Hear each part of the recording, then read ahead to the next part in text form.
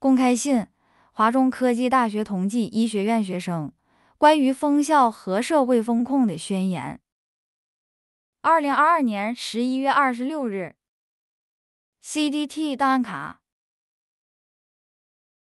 我们清楚的知道，在 C 零 VID 十九全球大流行的背景下，中国不可能独善其身，每个人生活的区域都将迎来感染人数的高峰值。这一点对各地而言，只有时间先后的差异。三年来的抗疫经验告诉我们，一场局部抗疫攻坚战打赢，意味着下一场局部疫情必将来临，当地群众将迎来下一次封禁。现如今，我们将会接受我们自己选择的任何后果，但精神上已经上不愿接受任何强制安排下的后果。为了确保这种恶性循环局面不再继续。以及我们的生活权利和精神状况能够得到妥善的改善和恢复，我再次谦卑地代表你，代表华中科技大学同济医学院的学生，代表我们共同从属的人民群众群体，发出我们的宣言。我们清楚地知道，我们让渡了许多权利，是为了能让武汉市更好地执行它的防疫工作。我们被禁止离开学校。我们被要求在四小时内做完核酸，然后才能使用学校的公共设施。我们清楚的知道，核酸检测是对疫情进行流行病学调查的必要工具。我们学过约翰斯诺，比其他人更理解传染病的社会负担。但是，对于进出学校的自由，我们的让渡则更像是一种牺牲。客观上，我们完全可以翻越大门。可以翻越高墙，可以剪断铁丝网，可以冲进食堂把饭端走，甚至可以摘下口罩。我们的人数远多于为管理我们而能投入的人力。我们做出这些让渡，是因为我们愿意相信这座学校可以通过暂时封禁出入来配合武汉市的防疫工作，最终满足学校和社会的解封条件。然而，既然我们已经清楚。每一次解封都只会带来下一次封禁，那么我们在支持向学校和社会让渡这些权利又有什么意义呢？难道 COVID 十九是天然出现来剥夺我们的权利的吗？难道我们只能在社交平台上发出呼吁和抱怨，在同一个群体之中内耗，却只能一边忖度自己是否有勇气，一边冷眼观看那些真正愿意站出来的人吗？我们首先再次提出第一个诉求：彻底取消我校所有学生出入学校的审批制度。原有的报备功能可以用于备案离校学生的活动路径。我们清楚的知道，向学生承诺对老师和工作人员、家属等人的进出进行审批是不可信的，因为他们自己就是这个学校行使对学生权利的一部分。我们也不相信老师、工作人员。家属和学生在对疫情的抵抗力上有统计学差异，我们同样也不能追求每一个进出这座学校的人都不被感染。既然平等封禁不可行，就取消封禁。我们清楚的知道，老师和家属被感染会导致学校封控，这是反复发生过的事情。而如果解封学生，学生感染，这座学校仍然可能会成为高风险地区。而被封控，我们认为这是各地仍然不敢正视 C 零 VID 十九，并将哪怕一例阳性的出现也当作某种高度恐怖事件的最重要理由。包括我们现在所处的学校，仍然出现过一例校外人员阳性就全体封楼上网课的情形。如果我们仍然不能把抗疫当作一场公共卫生优先的战役，而是一场追责是谁导致了感染。优先的政治战役，那我们的学校就会束手束脚；全国各地执行防疫政策的基层机构也仍然会束手束脚。我们清楚的知道，国家发布的最新二十条已经明确指出，真正需要追责的政治问题。好了，今天再做一期直播啊，之前这一周又感冒了，也没有做节目。今天这期就先不讲超级战士了啊，这期我们还是先看一看牛马新闻，因为最近呢，没有做节。这牛马新闻爆发的频率啊，明显超过了之前的所有阶段。自从我们做节目以来啊，这几年以来，这牛马新闻爆发的频率最高的时期。啊，就所谓的赢麻了以后的表象吧。赢麻了以后，这牛马新闻越来越多，而且程度越来越剧烈，反复发生啊，反复证明赢麻了。嗯，就比如今天这一天吧，我们看这个新闻，以前可能一天都没几个啊，现在这一天好多个都看不完。我看看一看。四零四文应该在四零四文库里边，应该是这里边统计的会比较全一点吧。嗯，今天这个是他给乌鲁木齐火灾这个标这个主题下边有好几个。乌鲁木齐第一个在哪儿？第一个是这个吗？官方发布的消息啊，这个火灾就是。西部某地高层住宅楼发生火灾啊！是昨晚七点多。啊，他这个是十一月二十五号了，那是应该在中国的十一月二十四号吧？具体时间。起火楼十五层，一开始是小火，物业还在群里边让大家不要乱跑，不要乱跑。啊，这物业说什么，还有官方发什么，啊，到时候你能不能参考，要做一个非常明智的判断啊。当然，你乱跑，结果也不一定好。这个到到时候就复杂了，要根据自己当地的情况自己判断。但是很快，小火就变成中火，变成大火了。啊，那物业肯定让你不要跑啊！十五楼烧到十七楼，就往上烧，直到黑色浓烟窜烧到了顶楼二十一楼。啊，烟飘到了二十一楼，火是从十五楼到十七楼。然后官方的通告，这是事后发的通告，接到报警以后。消防第一时间赶到，赶到现场急救，应急、公安等力量都到位了。明火被扑灭了，晚上十点三十五分左右的时候扑灭的。他说七点多着火，十点三十五分才扑灭所谓的明火。三个小时，十人经抢救无效死亡，九人中度吸入性肺损伤。通告里还说，着重申明了，小区是疫情低风险地区，居民可以下楼。但是 让大家不要乱跑，啊！而且还有十人被烧死，到底能不能下楼？这一句话就让各地的网友怒火中烧。首先，它不是低风险，通告里说的是假的。十月二十一号，这个小区的核酸采样出现混管阳性，小区居委会给业主群发消息，说即日起小区实行三天静默，就是封锁嘛，现在都叫静默，不同的词儿。啊，非必要不出出不出门什么的，所有居民必须足不出户，所有单元上封条。所以大火的时候十月二十四号晚上，这个小区还是在静默，就是封控状态。这截图啊，这可能都是迪特发的，都是迪特弄的。一会儿我们问问小粉红，听说小粉红都进这个方舱了，能不能听到我们节目了呀？小粉红到底在方舱里赢了是不是？现在国家派小粉红到方舱里抓迪特去了。是，这迪特太多了，管不过来啊！这都是迪特搞的破坏。查一下全国各地的疫情风险划定，到今天十月二十五号，这个小区仍然是国家规定的高风险地区。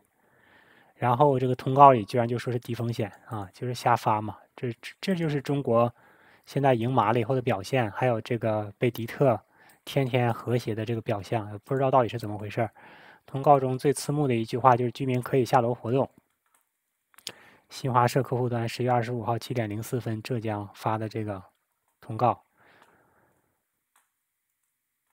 低风险可下楼啊！这都是迪特发的截图啊。用词很高明，意思是消防通道是通的，你们自己不跑，自己在那等死，活该呀！所以我就跟小粉红说，跟你们在中国大陆的这些以为怎么赢麻了的人说，你到时候被烧死了，人家说你活该。对不对？让你跑，你自己没跑，就跟以前我们一些节目里边嘉宾说，我们中国中华人民共和国大陆就最安全的呀。那你自己不囤粮，你怪谁呀？你自己没赚着钱，你怪谁呀？消防通道是通的，你自己不跑，你被烧死，你怪谁呀？你不傻叉，你活该呀，对不对？这个思路是一致的啊。人家早就告诉你了，就是你活该，你死了你活该，你傻你蠢你，人家都人们怎人家怎么没死啊？小区那么多人，就就烧死你们十个，那不是你们十个脑子有问题吗？那你们该死，对不对？路是通的，你们自己不跑，你怪谁？对吧？让你跑你跑不了，你怪谁？你残疾人你活该呀。事实上，火烧到眉毛了，有些人往出跑，看见这个单元楼的门是锁着的啊。啊，那是敌特搞的破坏，你怪谁呀？你们单元楼敌特多，你平时你不举报，关键时候把你锁在里边烧死你，对吧？你自己活该。有人就只能往回往回跑啊，还有人胆子大，跑到一楼邻居家，从窗户往下跳，对吧？从窗户往下跳，这这个也不小胆子大，一楼随便跳，我自己都跳过啊。小的时候玩的时候，在一楼啊，或者是一楼半的那种外边的阳台上往下跳，我都跳过啊，摔不死的。绝对没问顶多是把脚那个崴一下或者震一下，绝对摔不死的。啊，或者是你你也不用真的往下跳，你拿个什么东西一绑，往出挂一下，倒着下来不就完了吗？根本不要胆子大，都已经生死攸关了，跳个楼都不敢，那你活着干啥呢？看这个又是迪特发的啊，好不容易过这个度过了一百多天，最终还是等不到春暖花开，他家里死人的应该是。着火的时候，他们还在家，什么都不知道。妈妈做饭，妹妹写作业。后来发现窗户外边的火，才知道楼上着火了。父母就赶紧跑下一楼，发现单元门口锁着，好不容易一楼邻居家窗户跳下去的。报道上还说脱险的本小区是低风险，可以下楼活动，纯属扯淡。因为妈妈着急出门没带手机，爸爸手机没电。你看看，关键时候手机都。不太没电，平时别老在家瞎玩手机，自己给自己留点这个后路啊，留了也没有用，你打电话来了也 来了也救不了你，门锁着啊，看自己的命吧啊，低端人口怎么怎么也好不了，联系不上他们，当时我们在瑟瑟发抖。谢天谢地，我父母家里人平安，死了十个，最小死的是五岁啊，父母在和田疫情没办法回来，对吧？三个孩子全都死了，这就是你们悲剧。所以小粉红，天天老想着救这个救那个的，你到时候为国家牺牲，你全家跟着一起陪葬，这就是事实。我们都看见了，悲剧。以为什么党国会救你啊？以为怎么地就赢了呀？那你全家跟着陪葬，到时候比尔盖茨啊，什么施瓦布啊会出来感谢你的，谢谢你为这个世界和平、人类命运共同体做的贡献。啊。三个孩子全都死了，这一家啊，因为父母在外边的。上次我们看到的是，因为父母在外边被隔离，村长去他们家直接强奸他俩小孩的。这就是现实啊，都是敌特。但你没办法，敌特占领中国了呀。是我爸最好，是我爸好朋友的孩子，我妹妹每天一起玩的朋友，还有抢救室里的也是我认识的一个朋友，但是他全家人死了。所以这个人就是周边的，平时和自己家人在一起。玩的这个好朋友都死了，和他家人死差不多，就是一线之隔。所以最近也有新闻说嘛，死的就是我嘛，下一个就是你啊！什么时候是你？你等着中奖吧。你说我多长时间才能走出这个阴影呢？什么时候能解封呢？有多少个人跳楼自杀，在家里着火死亡，还有子女不在身边的老年人，天天在喀什的爷爷买不上药，身体不舒服，社区工作人员什么都不管。因为家在旅游景点区，听说不能进不能出。我在乌鲁木齐打了个打了无数个电话，但打不通。后来打给幺幺零，昨天晚上才把药送过来。火烧了四个小时，前三个小时消防队没办法进，哈，消防队到了三个小时不让进啊，那这谁谁不让进呢？对不对？大白有这么大的这个权利吗？消防员都这么怂吗？现在消防员听谁的呀？大白听谁的呀？有没有协调啊？那是迪特在和迪特协调，还是迪特在和党国协调，还是党国在和迪特商量啊？这个小区是被谁占领了呀？对不对？你们自己脑袋里想一想。因为疫情原因，所以小区门口被封了，还有小区内车也挺多的，没有能及时抢救啊。我不想再说了，我说不出来。我觉得新疆政府给新疆人缺一个道歉，又是又是缺个道歉，这都是迪特发的哈。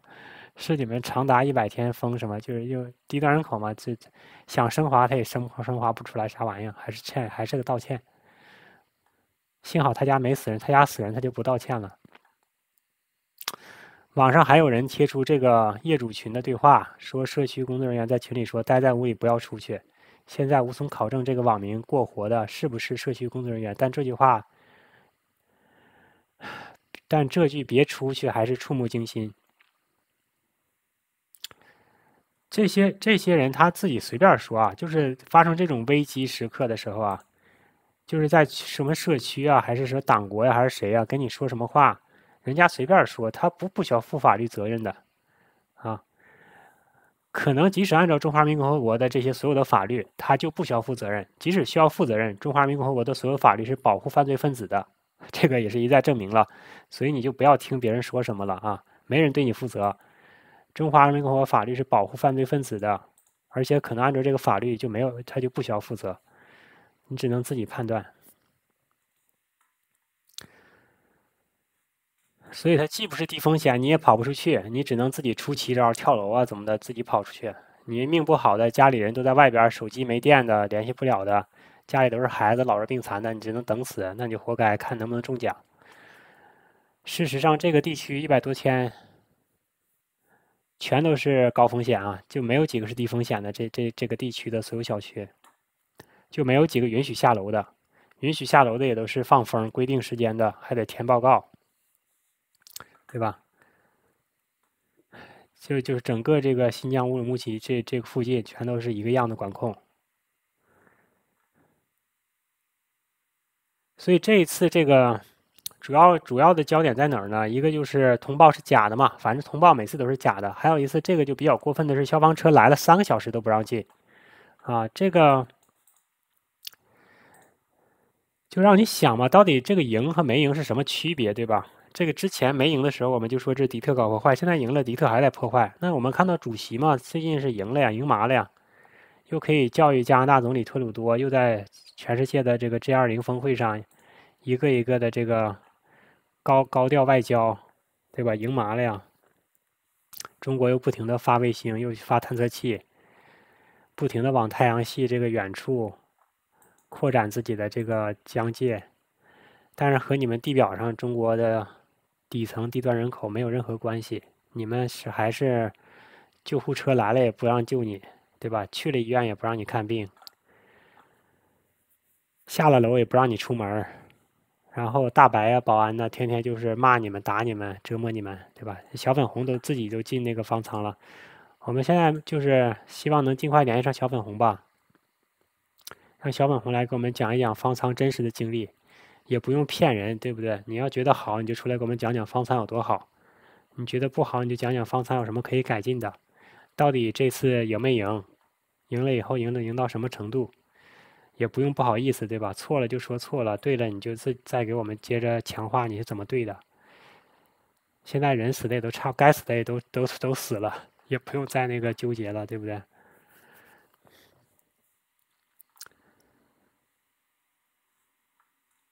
所以这次这个重点就是为什么这挡在这儿不让进，而且是据说是还是封着的状态，这个门门口，然后很多很多这个栏栅栏。还得线移移过去，对不对？人家都报警了，救护车来了，你中间都不能管，不能移移，然后还得等三个小时才能进去，对吧？还得协调什么？然后为什么领导也不出来，对吧？就随便发个通报，到底谁负责，对吧？但是新疆嘛，所以这个新疆发生的事儿以后就会都在你们这个内陆上演吗？都一再证实了呀。所以到时候你在内陆，在上海也是一样的，救护车来了也不会让你进去的。所有这些疑问都是怎么回事儿？没有人知道啊，对吧？只有一个答案，因为在新疆，新疆不算中国人。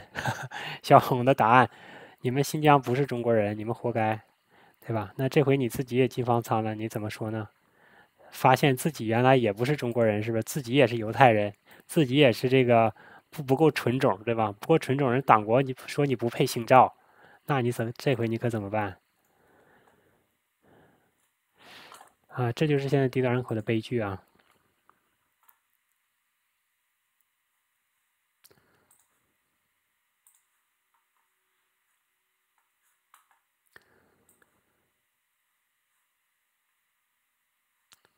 现在这个又是低端人口写的文章，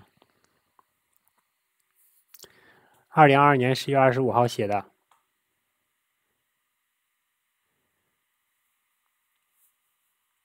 感觉自己进入了一个周而复始的循环，出不来了。突然见到了铁链女，突然见到了唐山被打的那个女的，对吧？沉默的四月，他就回顾一遍之前那些大的热点事件。电影这个被下架，一个孩子的死亡，这个是哪个孩子？这个都忘了哪个孩子的死亡，死的太多了。还有那个大巴车侧翻，死了一大堆人。还有现在这个单元门锁死，锁死单元门也都一大堆，各种各样的锁死。还有这个火灾也是锁，火灾不也是锁死单元门吗？也是消防车不让进，这就是反复上演这些事儿啊！在中国过去这一年就这些事儿。上次我们局部的回顾了，没想到到了年底啊，这个反而这个量越来越大了，给你个给你个大礼包，直接给你发奖金了，让你彻底赢麻了。充斥着太多眼泪与哭声的一年，如果要一列举的话，这篇文章都写不下啊。二零二二年发生太多事儿了，但越临近结束，我们似乎都越有一种感觉，它似乎越来越像同一件事儿了。这三年感觉像一一张纸被折叠起来了，纸的一头是二零二零开始的，二零二二现在是从二零二零开始，生活仍在循环，终点的光亮却似乎消失了啊！完了，这回彻底绝望了都，都在经历相同的恐惧和痛苦，也在经历相同的自我怀疑，悲痛已经没用了，没有意义了。现实里一直很难有人和我讨论这些这一切，我还要继续在公众平台坚持说话吗？都怀疑自己了，都怀疑人生了。为什么总是有人可以如此自然的选择冷漠，去大谈所谓的理性价值，对吧？小粉红啊，这位小粉红进方舱了，我们还得接着问他，还这个还赢不赢了呀？还理不理智了呀？还要不要现身了呀？对一切痛苦视而不见，对吧？上次我们也都说了，你要和这个罪恶划清界限。都已经痛苦到这样了，你还是这样说的话，对吧？那就不知道你是真的迪特，你还是假的粉红，你到底是什么人？还是说我们这些人太过敏感了？还是你是你赢麻了？还是我们太过敏感了？共情能力的旺盛是否成了一种负担或是错误？除了悲痛以外，做不了任何事。甚至怀疑要不要继续坚持关注下去，就是别关注了吧，看新闻联播吧，对不对？像师姐似的赢麻了，人家在欧洲高兴着呢，几个亿的身家，开着特斯拉，对吧？大住着大房子，还管你们那些屌屌人死死活吗？对不对？天天找优越感就行了呀。私人讨论里漠视对立也始终存在，要找到一个志同道合的人，与我们站在同一视野里进行理性的讨论与深度的共情，似乎是一件异常困难的事。对吧？这个我们在中国很多网友身上也体现出来了，跟我们说了这个现象，找不到在中国大陆讨论这些事儿的人，对吧？讨论也都是按粉红的套路来讨论，在各个公公开的社交媒体上，我们都能看见，经常转发热点新闻给朋友，但对方不回应我，我也无法理解我为什么要哭泣，我还要继续发消息吗？这种类似讨论，啊，你哭了，机器人不懂啊，机器人不知道为什么要哭啊。在哭泣之外，许多人都有一种孤独感，即是在一个时代的晚上，为什么身边却没有一个人能够与我共鸣同一种悲怆？坦白讲，我最开始想写这篇短文的时候，曾经试图去回答这些问题，但就在我写这篇文章的过程里，依旧在发生。我目睹着这一切，除了悲痛以外，做不了任何事情，就这种无力感嘛，就已经彻底绝望了。现在所有人都感受到了。全中国每个角落的还感受不到的，就机器人。这种无力感，也许就和过去的你我在面对这些问题的问题时涌现、频繁涌现的无力感是一致的。在现实面前，我们都没有答案。这几年，每一次我陷入类似的情绪中时，我总会想起上个世纪瘟疫肆虐时，加缪曾于诺贝尔颁奖晚会上演讲的那段话：“孤立无援。”和同代的人一样，迷失在时代的跌宕变迁中。当今这个世界，写作是一种光荣，是肩负的使命。并迫使你不仅仅去写作。它尤其迫使我按照自己的方式，以我的一己之力，与所有和我一样经历过那段历史的人一起去承担我们的共共有的那种痛苦和希望。都成加缪了，都成鲁迅了，都成杜甫了，对不对？都开始把自己和诺贝尔奖这个 获奖的这个文豪来对比了，对不对？中国人全成这样了，现在你说跟你说怎么整？这就是现在我们面对的事实。都开始想着怎么获诺贝尔奖了，这都成加缪了，都成了哲学家、文学家、历史学家、思想家。我们恐惧、悲痛的原因，恰恰是因为我们能总能在他人身上看到自己。我们恐惧坐上那辆车的人是自己，我们恐惧阴阳两隔与铁门之外的也是自己，感同身受，被具体的、确切的痛苦笼罩着。就这些话，我们是反复说了。这些话，你你去给台湾人看，台湾人能写出来吗？台湾人 惊呆了，这都是文学家。台湾人天天就休闲通灵了，这只有中国人现在能写出这种话来啊。活着的人每一天都在见证历史，而历史里的每一个人其实都在面对选择，坚定地站在原地，要么捂起耳朵，遮起眼睛，把自己埋在土里，对吧？现在已经选完了呀。该该选的都选完了，不不选的就是没机会选了，没办法躺平等死了。我们已经做出了选择，哪怕我们深知这种选择的无力，仍旧是证实了自我的渺小以后，在有限之中做出的最后最后的选择。而做出选择这种这件事本身已经足够成为自我的秩序重建。我们之之前也说了，你不管你是小粉红啊，你是迪特，你是五毛，你什么东西，就是做出一种选择。你做完选择以后，你就承认就得了，别老装的特别高大上，像师姐似的，老装的特别高尚，老是审判别人，不知道自己身上全是屎啊，老代表主耶稣审判别人，这是最大的罪啊！选完了以后，你就承认自己的这个德行，别老装。最近经常看见首页有人在转李娟老师那句，但是虽说太敏感的人会痛受苦。我却情愿受这个敏感的苦，也不愿成为另外情形的人。另外情形的叫机器人，对吧？宁愿受敏感的苦，也不做机器人。其实，在二十年二十年初的时候，就有许多人在问：为什么要看微博？为什么要看新闻？开开心心的不好吗？对不对？这不是我天天小粉红就这么问问我批判我们吗？对不对？老看这些干什么？你这负能量，修仙不好吗？升为阳生不好吗？新纪元不好吗？外星人爷爷不好吗？约炮不好吗？对不对？所以就是你选择做人还是做机器人，反反复复说了一遍又一遍，对不对？中国人都懂了。因为时代与周遭存在的一切苦难，并不会因为我们选择成为鸵鸟而有所改变。但是你仍然可以选择做人还是机器人。我们选择记住这一切，是因为我们知道，在随时可能会消失的讯息以外，那些深深埋到连眼泪都触发不了的情感，并不是只能。并不是只有能说会道的人才有，他是我们的同胞，真切的在经历的一切，所以宁愿痛苦，宁愿做屋子里唯一的了解寒夜的人，也不要让历史忘记他本该记住的一切。啊，这些都是历史学家、哲学家、思想家、文学家，中国的这个良心写的啊。你们小粉红就愿干啥干啥，做不到的。然后这个出了这些事儿以后，不又开始说吴亦凡了吗？对不对？死了那人，让大家想起这鸟事儿。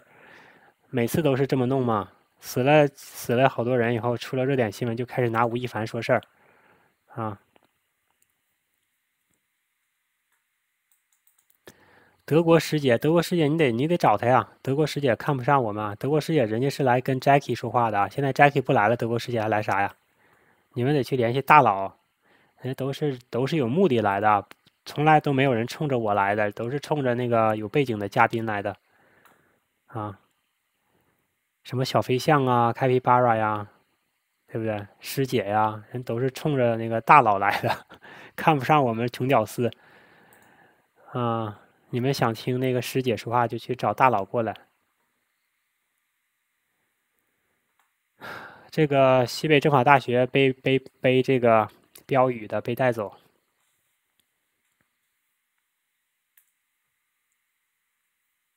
这个是今天刚发生的。西北政法大学测试核酸的排队现场，就有这么一个屌丝背这个牌子，但这个屌丝已经胜过了西北政法大学所有其他人的勇气啊！即使他是被收买的，他是迪特，他勇气也可嘉，对吧？敢敢于顶着风口作案，对不对？这他是迪特，我也得佩服他。开皮巴巴肯定做不到的。西北政法大学核酸现场，一名同学背后挂着大巴车侧翻的是我，生病拒诊的是我，徒步百里的是我，崩溃跳楼的是我，火灾被困的是我。如果这些不是我，接下来也是我，是我是我还是我？这样的纸板。随后，他刚走到检测台就被学工部带走，严重警告，处分六个月。啊，我相信他是个，我个人相信他是个人行为啊，不是敌特啊，也不代表任何这个势力啊组织，他就是一个大学生想表达自己的这个想法和意见。啊，而且根据他被带走以后的处分，我相信这个学校，起码这个学工部给他处分的负责人也相信他是个人行为，不然就不会是严重警告处分六个月了，那肯定就开除了。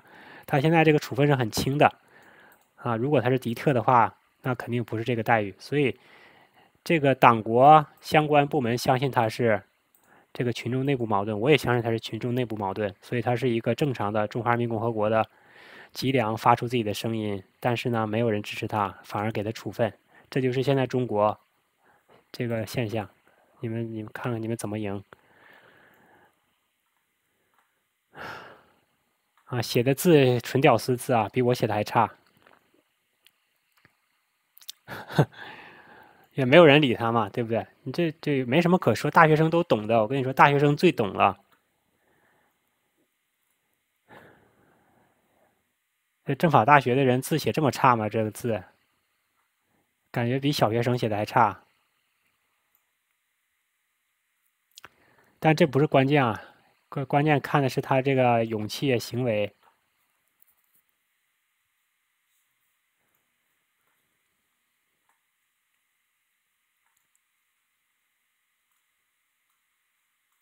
都是照片啊，就是这么一个事儿，呃，但是具体最后解释权还是归小粉红啊。到底是迪特搞破坏，还是你们中华人民共和国的脊梁？那你们得自己判断。我看你们脊梁死的差不多了，你们文字也被废了，你们基本上就是必然会输的。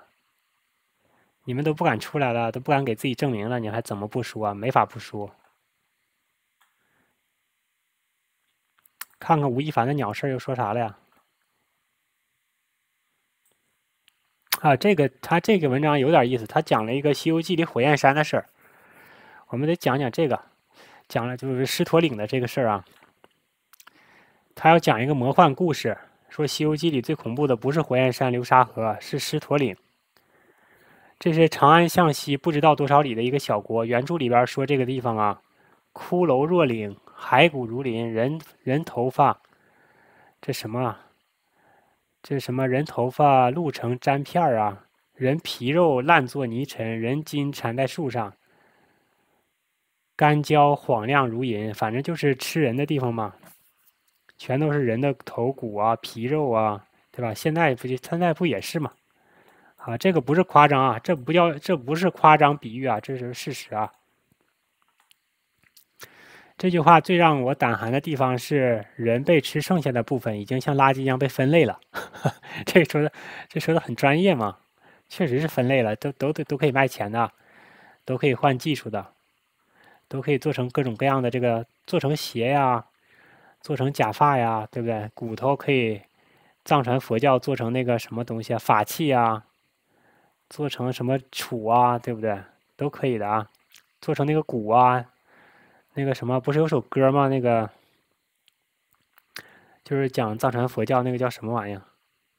就是一个小小姑娘回忆她姐姐怎么失踪了呀，后来才知道原来她姐姐被做成做成骨了什么的。啊，人皮骨。啊，这就是从从古到今都是一样，都是外星爷爷在吃人。啊，当然不是外星爷爷直接，不一定是直接吃了啊。其实是你周围的人配合他们一起吃你，只有天天吃、月月吃、年年吃，才能吃出这种流水线般的操作流程。哎，说对了呀，这个人很懂啊，感觉他知道知道点东西啊。那就是天天吃，月月吃，年年吃，而且是吃出流水线的流程，这吃几千、几万、几亿年了都不知道。这种惨和这种惨状相比，奥斯维辛都显得温情脉脉啊。这他这个说话的这个水平达到了大佬的级别啊。奥斯维辛不算什么事儿啊，对啊。按照大佬说的，如果真的爆了外星人，爆了一点点，奥斯维辛都不算事儿，这就是这样的。什么中国以前什么饿死几千万呢？对不对？二战。死了，中国死多少人呢？几百万、上千万，不算事儿啊。不仅场景恐怖，狮驼国的背景故事也非常暗黑。狮驼国本身是本本是一处世外桃源，贩夫走卒，引车贩浆，生活热气腾腾，无数的普通人为了生活而努力着，生而渺小但热忱。当师徒四人、唐僧他们来了狮驼国的时候。这里变成了一个吃人的世界，骸骨如山如林，人要么已经被吃掉，要么这个圈养起来等着被吃。现在咱们就是这个状态啊！而且吃人就吃出经验来了，就像抓唐僧的时候还要讲究，等到天阴闲暇的时候拿它出来，整治精洁得腌一下，洗一洗，啊，猜枚行令还得有这个仪式，玩先玩几玩几圈麻将。然后还得这个抓阄抽签儿，细推细打的争着吃。什么是黑色幽默啊？这个就是黑色幽默，这不是黑色幽默，这是日常。如此残忍的狮驼岭，最为令人津津乐道的，却不是那里的吃人，不是那里的魔幻现实，而不是那里的种种不寒而栗，偏偏是一个鸟事儿。就是这个唐僧师徒四人掀开这个吃人世界的真相之后，出了一个大八卦。凤凰的女儿孔雀，曾经把如来吞进肚子里，被如来破开肚子逃了出来，所以孔雀算如来他妈，大鹏算如来他舅。就如来成佛之前，被这个孔雀 吞到肚子里了，啊，然后如来后来出来了，啊，然后就出了这么一个八卦，就狮驼岭这个事儿就没人聊了。就如来讲了个这么故事，如来，如来这个搞维稳啊，和谐社会啊。发现狮驼岭这个破事儿被捅出来以后，开始讲这个娱乐八卦。这个八卦里边带着点名人的隐私、伦理、伦理梗和一点鸟事儿，具备了所有流量元素。所以这个惊天八卦出来以后，三界众生啊，街头巷尾都在说如来的这个八卦了。啊，说如来这么厉害，当时都被弄进去了啊。像吴亦凡、牙签儿、吴牙签儿，这么屌啊，对不对？一宿上几个的都被弄进监狱去了。又说了，当时他进去了多久多久啊？在里边干啥了？吃了啥啊？和哪个女的搞了什么？三界一片欢声笑语，没有人再关心那个叫狮驼岭的地方了，那个吃人的地方。这就今天中国嘛，今天世界地球就是这样，全是娱乐嘛。怎么说呢？高实在是高，狮驼岭是眼前发生的事儿，而孔雀把如来吞了，是如来成佛前的事儿。但偏偏这个时候呢，爆出来，偏偏爆出这档子鸟事儿，就是一石三鸟。啊，这个写写这篇文章的人水平很高啊，我觉得这个是他这个故事啊，这个王左中右讲这个故事啊，配合我们这个现在中国发生的事儿啊，他这个水平讲的非常的高，点的都很到位，啊，这是你们中国中国的这个真正的文人啊。强调了，既强调了灵山的宽容，吃了我都不怪你，又表现出了灵山实力的强大。凤凰之女也皈依了，对吧？所以我说这个佛祖啊什么的，如来佛呀这些东西啊，就是瞎扯淡。他老是用神的这个能力来说，你看我怎么我被吃了我都没事啊，对不对？你他妈是神，对不对？你说吃个人他就直接死掉了，你是神，你当然他妈没事儿了，对不对？老用自己神的这个能力做出的事儿来，这个让普通人来匹配，啊，然后普通人没有神力做不到，他就说普通人不行，啊，这就是这些神呐，天天忽悠普通人的方式，就是基督啊，还是什么穆穆罕默德呀，还是这些佛祖啊，都是一个德行。我要是神，我比他们做的还好啊，好一万倍，他们在我眼里屌丝也不是。更满足了普罗大众对名人轶事的想象。这鸟还有这种黑历史啊，有点意思。一旦有了这种八卦新闻，坊间的小说家们牵强附会，编造出孔雀和唐僧的情愫；阴暗的反对者会寻章摘句，论证佛母身份的真实性；盲目的粉丝会据理力争，反而把事情搞得尽人皆知。最后，就谁还记得狮驼岭的百姓呢？谁还记得骸骨如山？谁还记得这三个凶手没有受到任何惩罚？没人再说了。所以说嘛，掩盖真相最好的方法不是诡辩，不是造假，而是把另一个鸟事儿翻出来，翻来覆去的说几百遍，满足肤浅大众的窥私欲，引发大家的好奇欲，转移大家的表达欲，这就行了。毕竟嘛，名人总比死人有意思，故事总比真相有意思，娱乐新闻总比社会新闻有意思。这文章写太好了，这你们中华民族的人才基本也都伤心了，绝望了，基本都被你们给弄死了。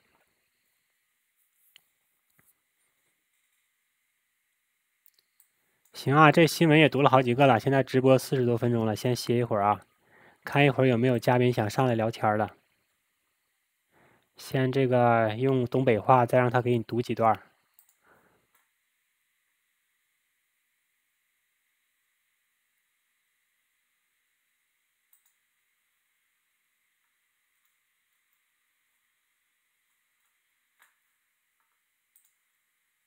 四百零四文库。三号厅检票员工，如果你也很难过。CDT 档案卡标题：如果你也很难过。作者：凉州。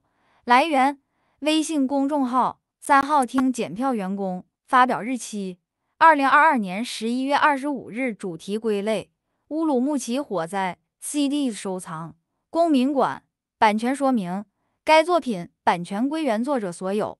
中国数字时代仅对原作进行存档，以对抗中国的网络审查。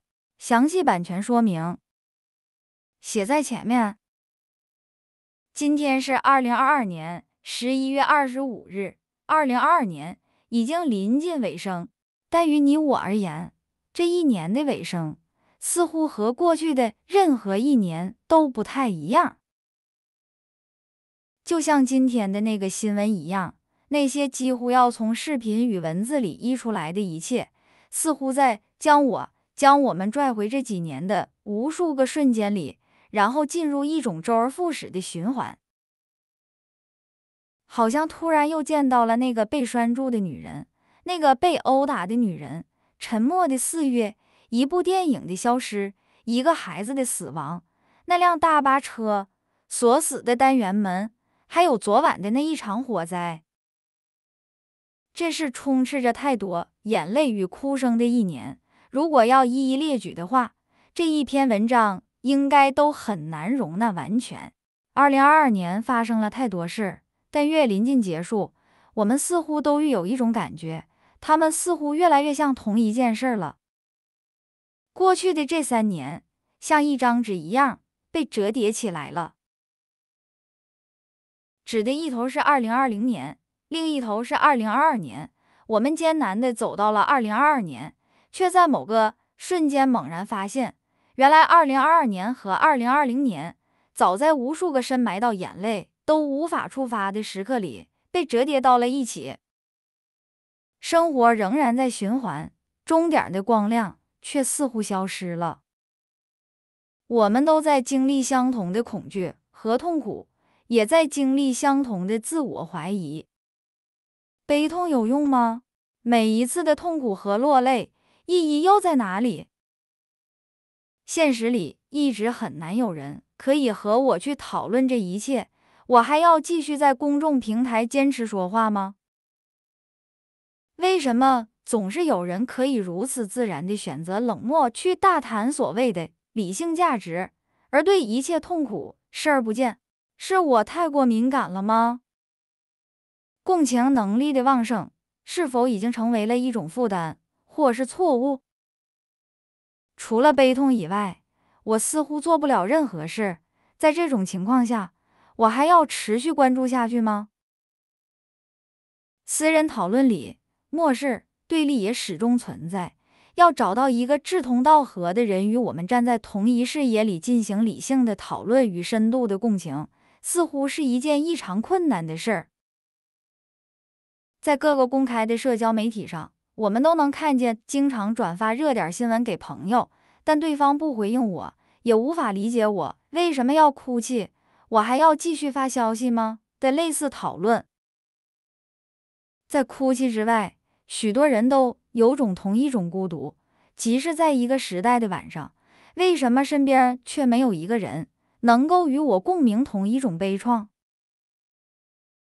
坦白讲，最开始想写这篇短文的时候，我曾经是想试图去回答这些问题，但就在我写这篇文章的过程里，依旧在发生我。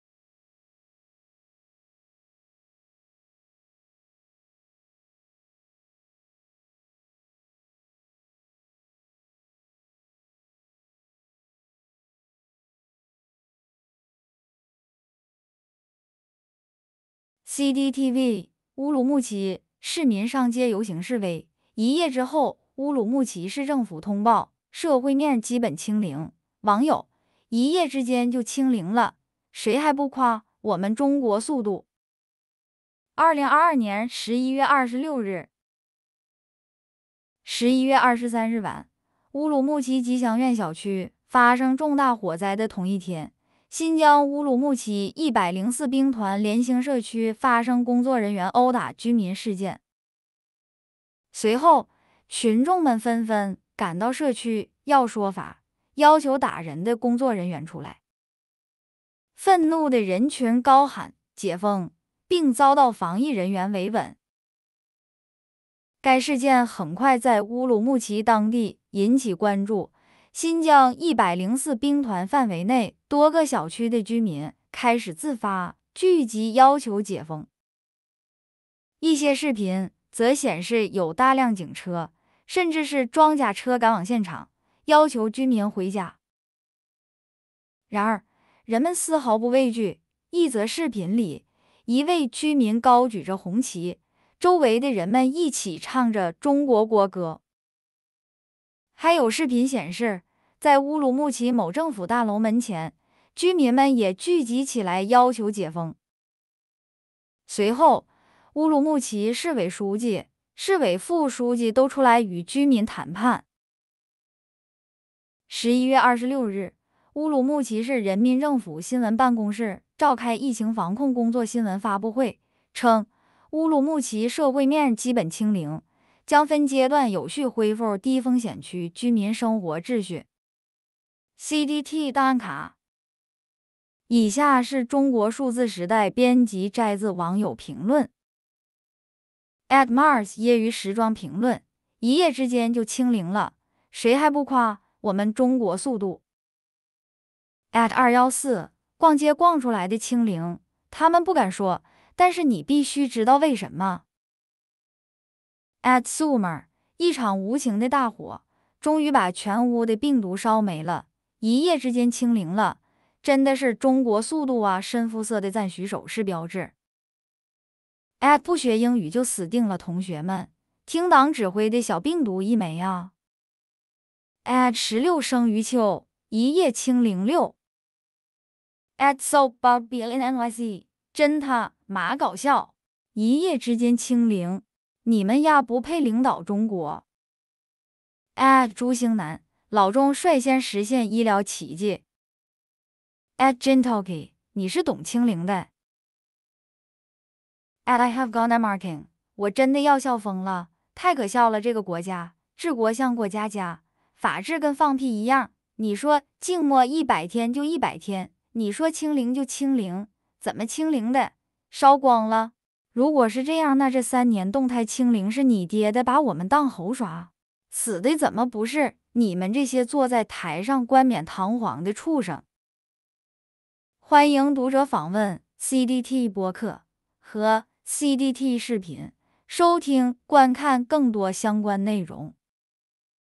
Facebook、Twitter、Telegram、Reddit、WhatsApp、Email。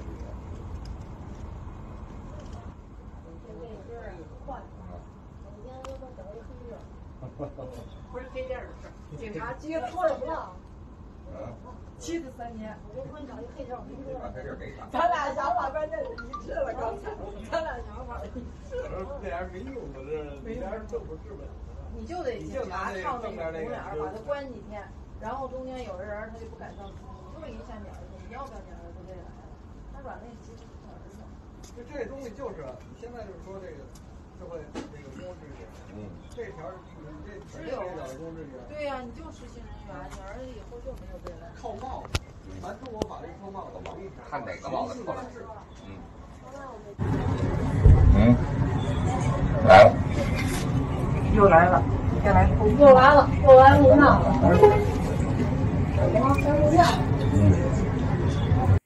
哎，啊，这个可以继续聊一下这个啊。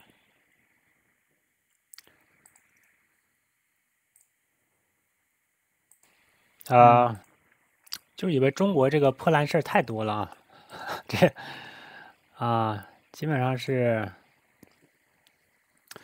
这个也是今这前两天出的，这个他他这个转到 Reddit 上了边，我刚才在搜这个四零四的，好像被删了，怎么的？连四零四的都没了，这个好像是。啊，这个昌鬼开会实录啊，就是他们在说怎么弄你们这些低端人口敢来举报闹事儿的、瞎搞的，就给你们整个黑黑警的地方给你们关几天，弄死你们丫的，对吧？就想着怎么害你们，怎么商量怎么弄你们，就这帮人，底层的基层工作人员，这就是你们小粉红所说的敌特吧？按照我的理解。啊！但是现在人家就是管着你们的，天天想着怎么弄你们，然后你们自己被抓进方舱里头去，啊！你说你们怎么赢？这不扯淡的吗？你们中国基层完全都被敌特给掌控了。看看这应该能打开的，这就刚才那个视频的文字版，就是他说近日吧，也不知道具体哪天啊。字幕中拍摄时间是十月二十号，地点是北京市昌平区天通苑南街道第二居委会，这不社区吗？居委会吗？然后视频中的工作人员就在这笑谈，谈笑风生的，对不对？就是交流怎么弄你们社区嘛。啊，笑称哪天叉叉，哪天他妈的吧，哪天他妈的找个黑地儿拘他三天，就影响他儿子，他儿子就是他软肋，对吧？对呀，你就是失信人，你儿子以后就没未来，看哪个帽子扣他合适，对吧？关那。那两个人还说：“哎呀，我跟你想一致了，咱俩这想法一致啊，对不对？”刚才他标了那几个啊，又是那个什么什么叫什么玩意儿，他们都是有官职的。又来了，又来了，又来了，又来了。这天津吧？他说的应该是张丽娟儿，这几个秃头啊，工作人员张丽娟儿，然后中间有 都是牛鬼，都是牛鬼蛇神啊，这帮人。就是，这就是弄你们的大白。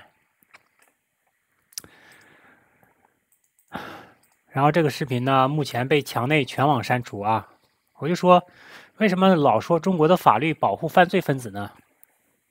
对不对？每次都证实了，不是我们在瞎说呀！中国的法律只保护，只保护犯罪分子，只保护坏人，然后压迫好人啊！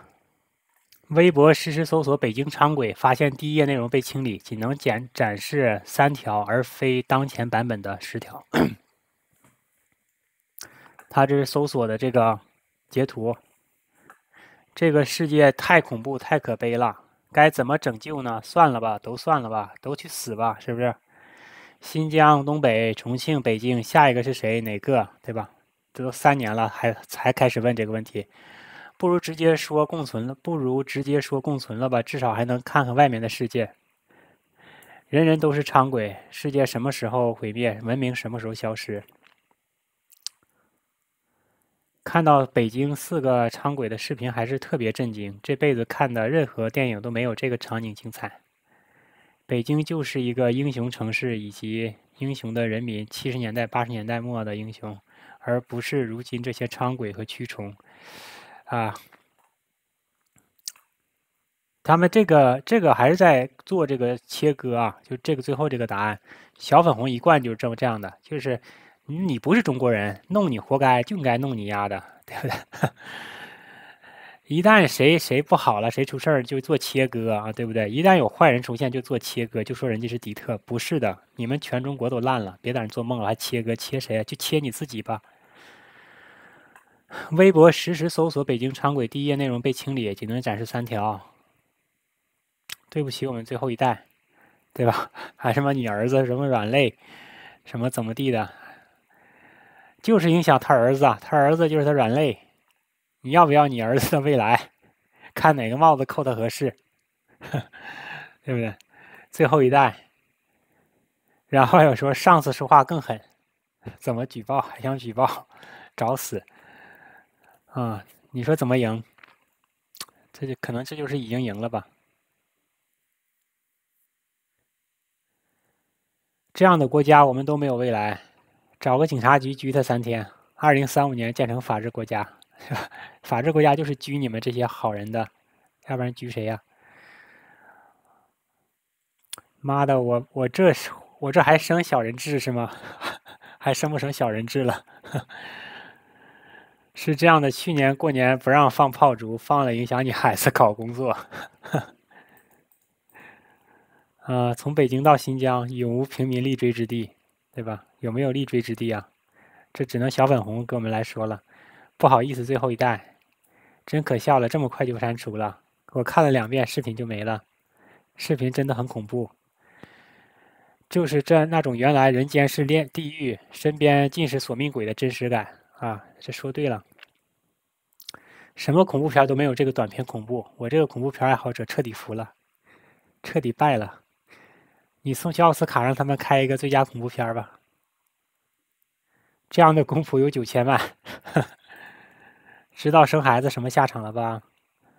这就是我们首都的公职人员，比鬼更可怕，惊得我说不出话。你猜怎么着？现在美国中情局安插在基层破坏防疫大局的特务们，口音都倍儿地道。这不，小粉红告诉我，这都是敌特。都是北京 CIA 不是美国 CIA 弄弄来的，对吧？都是外星人，你们怎么赢啊？都弄到你家门口了。我一直想他们面罩下是怎样一张脸，今天终于看到了。大家可以去推特上看啊，他们是懂人质的，都是弄人质，一开口就是人质，对不对？人一开口就抓你软肋，抓你这个人质，你看看都是经过培训的，都比开胃巴巴厉害。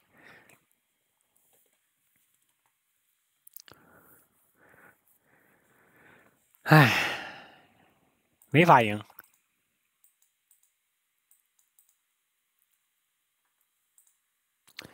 这就是你们中国的现状啊！别做梦了啊！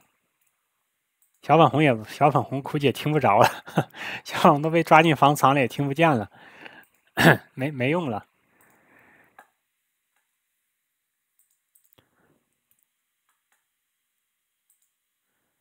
啊，还有一个文章啊，还有一个也得聊一聊。不要老说是这个敌特搞破坏啥的，不要老说是基层的执行不力。我们看看习主席在忙啥？十月二十五号，这就是昨天前天，中国领导人习近平就所罗门群岛遭受地震向所罗门群岛总督致慰慰问电，而就在此前一天的乌鲁木齐火灾，仍令网民悲愤交加，对吧？主席也没说一句话。因网民批评或新闻撞车早有舆情预警，新浪微博将“所罗门群岛”一词设为禁搜，仅可见蓝 V 账号发言。结果最早仅能显示到十一月二十二日所罗门群岛地震相关的蓝 V 所发内容。习近平表示：“京西所罗门群岛发生强烈地震，我代表中国政府和中国人民，这这是工人民包括乌鲁木齐火灾人民吗？向所罗门群岛政府和人民致以诚挚的慰问。”啊，中国和所罗门群岛相互支持、守望相助的好朋友、好兄弟、好伙伴，中方愿为所方所方提供力所能及的支持，帮助所罗门群岛人民战胜灾害、重建家园。啊，不包括你们新疆人啊，不包括你们那个受灾的、被封的人，你们爱死不死，对吧？所以不要老说是下层执行不力，老自己骗自己，老说敌特什么的。睁眼看一看世界，看一看主席习近平总书记是怎么赢的，怎么带领你们中华人民共和国这个中华民族伟大复兴的，和你有没有关系？自己想明白。所以这就是我们看到的今天中国的局势啊，它是全世界局势的一个领先指标，是你们未来判断自己命运的一个重要的方向。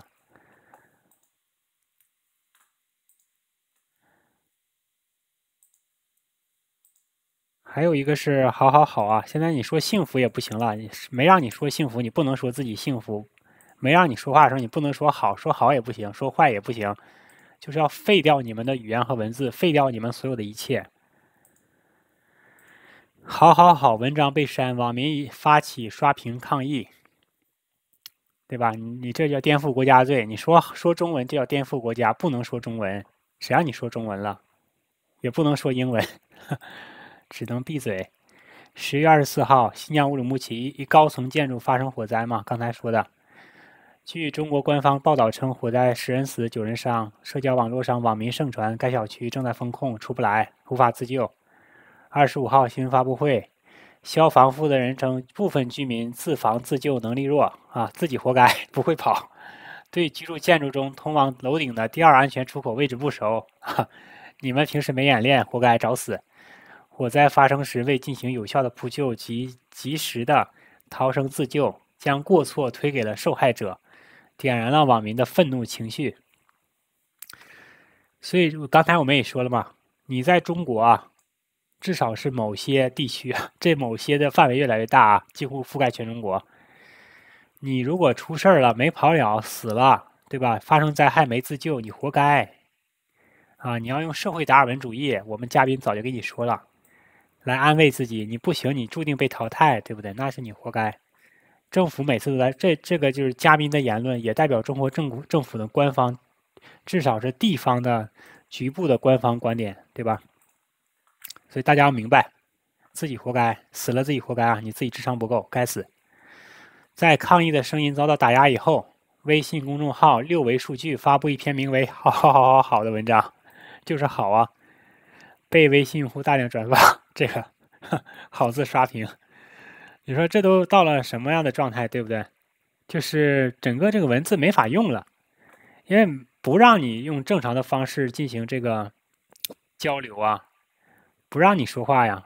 然后那你怎么办？你只能这么弄，弄完了以后，整个文字都被废掉了，就整个这个这个渠道这种交流方式被废了，以后就只能心电感应了，只能接受老领导脑机接口，对吧？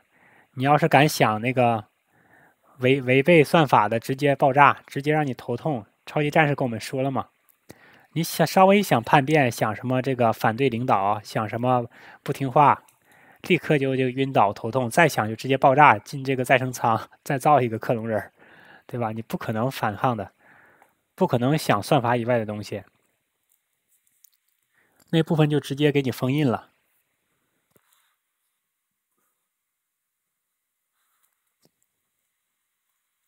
就是好啊，啥也别说了，就是赢啊，就赢麻了，就是好啊，对吧？就好啊！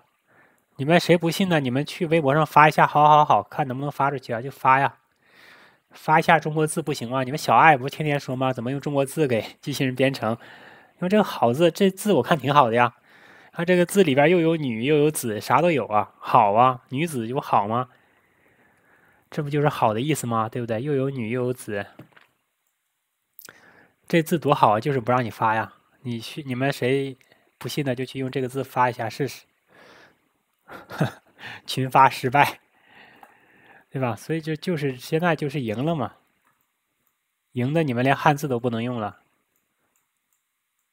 中中也可以，中行不行啊？中国也不让发了，以后以后中国这个国家都不存在了，是不是？没法没法写了。是不是幸福就是幸福？国外没人了，哎，偷着乐吧，这太搞笑了。这这就是现在我们就说文字被废了嘛，好日子还在后头呢。赢赢赢，这太搞笑了。伟大祖国万岁！赢，坏，来个坏坏，好坏的不行是吧？坏水儿，不一定好，必须得坏。所以说，这都变成啥了吧？你们这这，对 对对，不好不坏，你们这，所以我说中国已经没法弄了。好好好，坏要坏，不好不坏，对对对，你们整个中文都被废了，就全全都是，就没没招，没法弄了，就没法弄了，已经现在。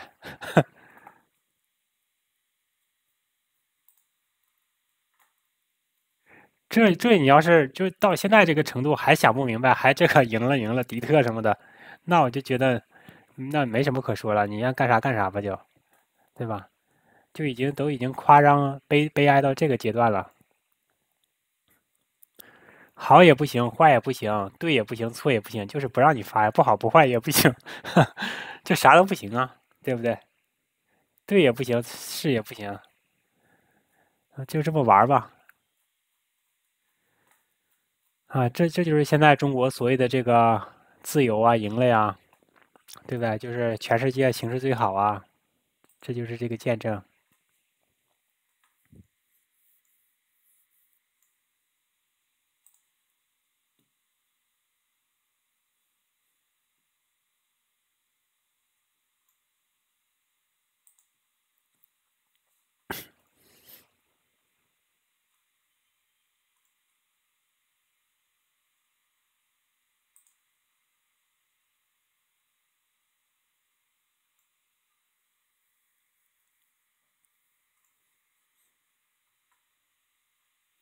啊，最近还有一个新闻，就是那个重庆啊，四川是不是重庆还是成都啊哪块有一个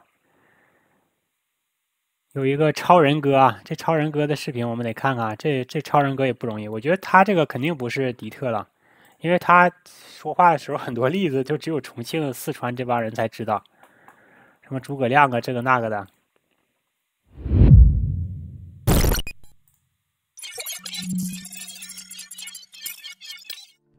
十月二十四日，一段视频显示，在重庆某小区大门门口，一名身背超人背包的男子面对众多市民大声怒斥疫情防控政策。让我们来看看这段视频。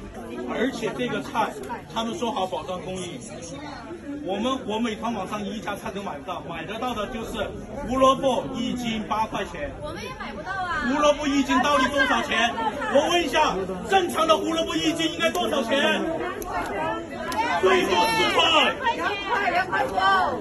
这位阿姨肯定做了三十多年饭，告诉我正常的胡萝卜多少钱？我给你打开美团。请问十六块九叫不叫保障供应？对于那些富人没什么，但是我们中国有百分之七十的人收入不到三千，那些人买十六块九的胡萝卜，你们想过没有？他们要的幸福是什么？他们要的幸福是什么？来，我是孔子七十七代孙，世界等身协会随时准备好，请把这些视频留起。说，我告诉你们，这个世界只有一种病，它叫不自由和穷。我们现在全占了，我们还在为一个小感冒而折腾。为什么？我告诉你们最直接的原因，因为市政府已经错了，他们只能错下去。你知道为什么吗？因为市政府错了，他们只能错下去，不然就不然就在承认他们错了，承认他们错了就必须要负责。那么为什么你们不能像诸葛亮一样，打败了一次仗就自降三格？你们不是诸葛亮，诸葛字孔明，人家打了败仗，人家敢承认，我们连承认的勇气都没有。我们曾经有篇课文入选过我们的教材，上面说过六个字：不自由，勿宁死；不自由，勿宁死。就在说，上法院上法院也批准。还有这个菜贵不贵？贵。有没有勇气出去打几场篮球？把这个小感冒跑好。好，有的。每天打一个小时篮球，这个病到我身上，我保证七天治好。到篮球场开门。篮球场现在开没有？没有开。在兰西有一个。到中国。你们想不想看世界杯？在广场上热闹的跑。想不想看梅西怎么输给阿扎克的？梅西得过新冠，C 罗得过新冠，网球名将德约科维奇得了两次新冠，人家拿了四次大满贯之后，约基奇知不知道？M，人家得了新冠，连拿两次 MVP。如果影响真的这么大，他们早就退役了。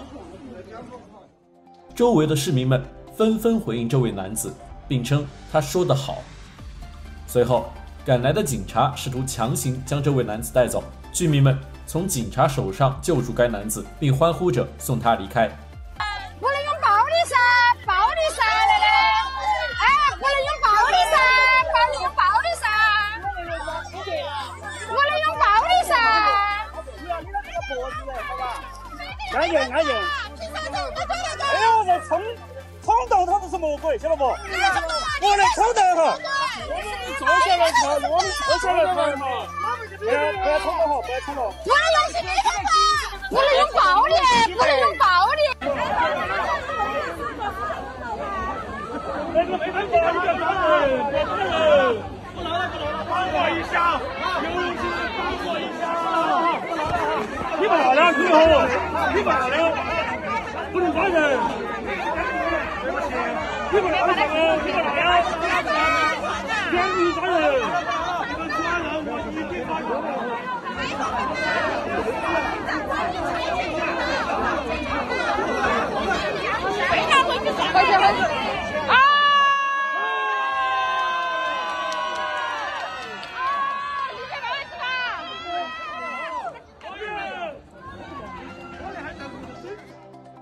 微博网友第三者的拔评论道：“看到重庆的那位高喊‘不自由，勿宁死’的超人，以及保护他的街坊邻居，会泪流满目。他、他们、他们都太勇敢了。终于有人站出来高喊，这些是不合理的，是错的。这是难以想象的鼓舞和振奋。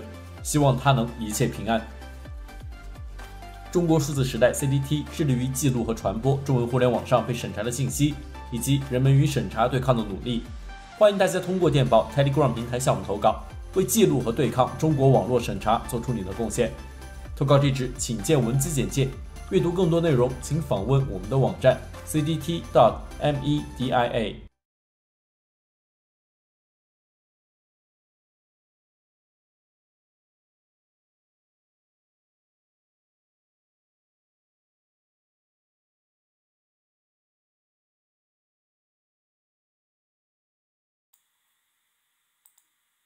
哎，好像立夫上来了啊！嗯，开麦了。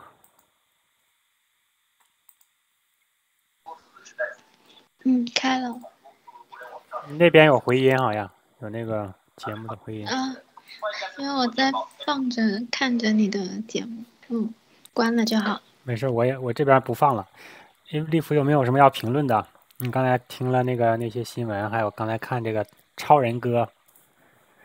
哦，对，刚才那个超人哥说的，什么梅西也得了新冠，C 罗也得了新冠，还有那个什么网球的名人也得了两次新冠。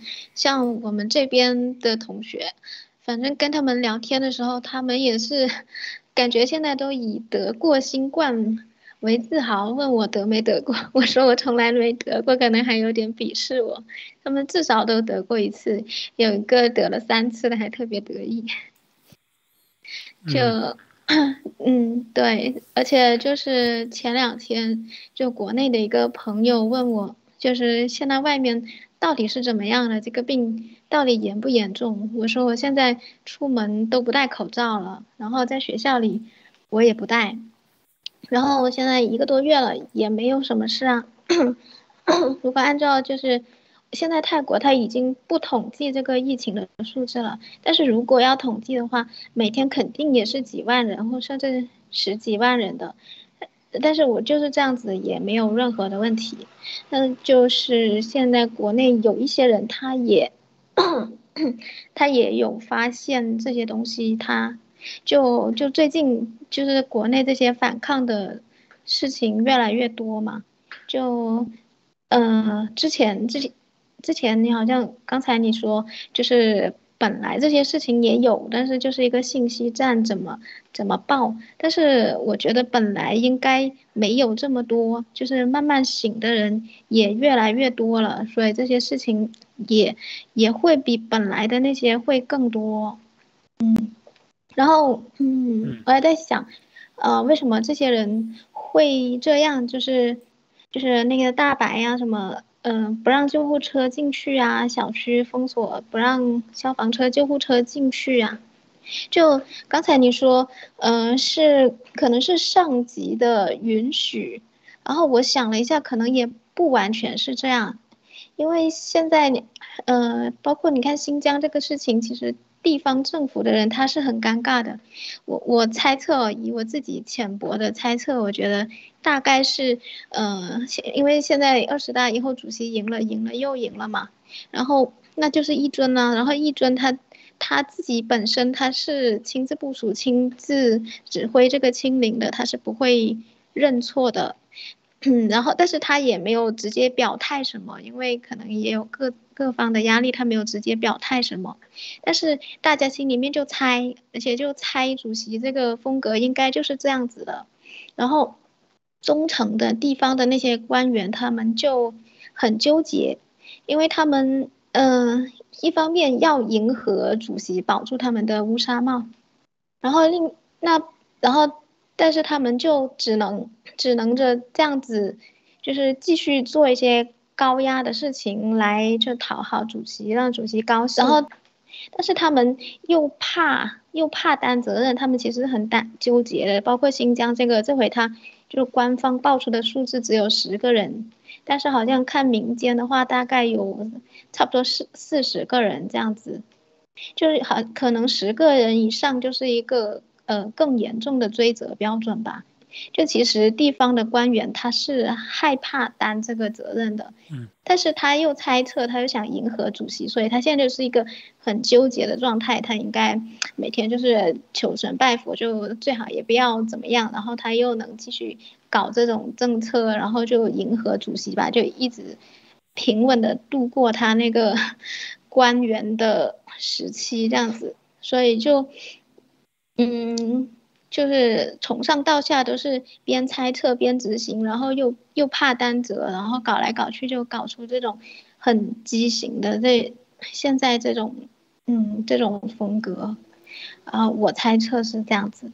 嗯，就你说他为了迎合主席，所以封的比较严格是吧？对，因为主席他他虽然他。他没有就是特别明确的表态，但是你看他的风格就是这样子，然后地方上也是这么猜测，然后想要保住乌纱帽，也是要去迎合主席的这些东西。嗯，那他只要保证没有人往上汇报不就行了吗？他只要救火车接着救啊，什么不需要封啊，只要没有人往上汇报，没有人上上举报不就完了吗？他只要管住，让没有人能去上边上访就行了呀。那主席怎么会知道他这封没封，封的严不严？主席根本不知道，不关心呢。只要他不出事儿，主席还能注意到新疆那个破地方吗？嗯。哦，你说这个，就他管住这个，不是啊？这个他也不能完全管得住，因为万一，万一，其实其实这些官员对这个疫情、对这个病毒可能也不是特别完全的了解，可能他也觉得是一个什么。嗯。就是可能，呃，如果不严格管控，会捅出什么大麻烦？那他他到时候又什么新增很多，或者是什么？那对他的政治生涯也是有很大影响的。就是他做也不行，不做也不行，就是这样。就是你说这些官员自己心的，自己心里边真的没有个逼数，对自己这个区的病毒情况真的没有数，他心里真的逼数没有。对对，我我感觉是这样子的，嗯，也可能对，然后他就反正听上边越严越好嘛，嗯，严了起码不犯大大错，可能犯小错，不会犯大错。嗯。对啊，就而且你看，就是这回主席他二十大之后的那个用人政策，就是任人唯亲嘛。那你看上海那个市市委书记，你看他犯再大的错，只要但是只要他是亲近主席的，都不会有大错，呃，都不会有什么大的惩罚，可能还能加深，是不是？那是因为他那肯定是和主席一起打过炮的，一起扛过枪的，对不对？不是一般的嗯亲戚，那肯定犯什么嗯错也不会那什么的啊。对，那嗯但是其他人按照他这条路来走是绝对不会错的，这个嗯就是一个样板了，对不对？嗯那其他人他得有个样板呐、他知道走哪条路绝对不会错，至少就是嗯，被被下来的几率会更低嘛。嗯我同意你这假设，那按你这假设就是更好不了了呀。那就所有地方人都会越来越严，就是酷吏嘛，全都是酷吏。就以前那些古代的中国史籍上最狠的就是这些酷吏，就他，嗯、看起来是很清正、很廉洁，但是他对人嗯特别狠。嗯，他自己也不贪，他都不一定是贪官，嗯但是他更狠，不贪的更狠。郭文贵现在就是嗯说，主席提拔上来一帮这种人，真的没贪，嗯真的是两袖嗯清风，但是更狠，就是干起人来以后更没有没有顾无所顾嗯忌、啊，那就是那就是更嗯完蛋了。中国古代史册就是这种人最可怕。对，那嗯历史也证明了专制体制就是这样子的。嗯嗯，对，我自己想也是这样子的，就所以为什么好像那个二十大之后，他也出了一些什么政策，二十项措施还是啥的，就好像，嗯、似乎要放开管控，但是其实又执行不起来。我觉得就是这样子吧，可能。嗯，但我们这一家之词啊，现在小粉红不在，我们要给小粉红机会，就是赶紧来啊，在嗯方舱里能来就方舱直接来，要不然就出来再来，分析一下粉嗯红这边是怎么看现在这个赢的局势的。啊，我们也嗯感觉赢对赢麻了，感觉迪特这回真赢麻了，就是嗯，对，嗯 还有开开友也可以上来，他在广州那边可能，广州最嗯近不是也、也反抗的比较比较多嘛？嗯，我该看看了那些，大概就是这些感觉。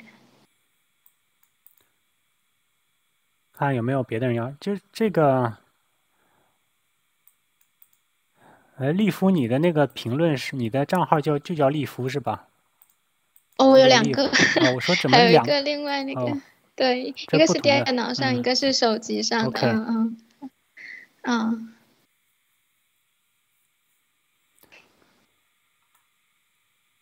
你刚才看了这个“好好好”这个文章，你觉得你有什么感觉？就刚才我们那个前一这天，嗯就很好笑啊！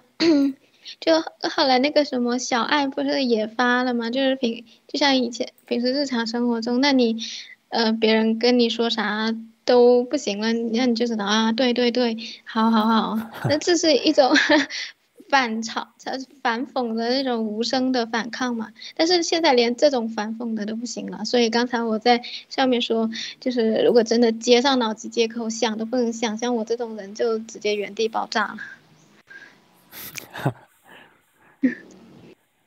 你直接在再生舱里了，直接你那你的命运就是直接变成那个赛博格，他们对你这种人无可嗯救药了，就直接把松果体拿出来放在机器人里，你就做赛博格去当炮灰就好了。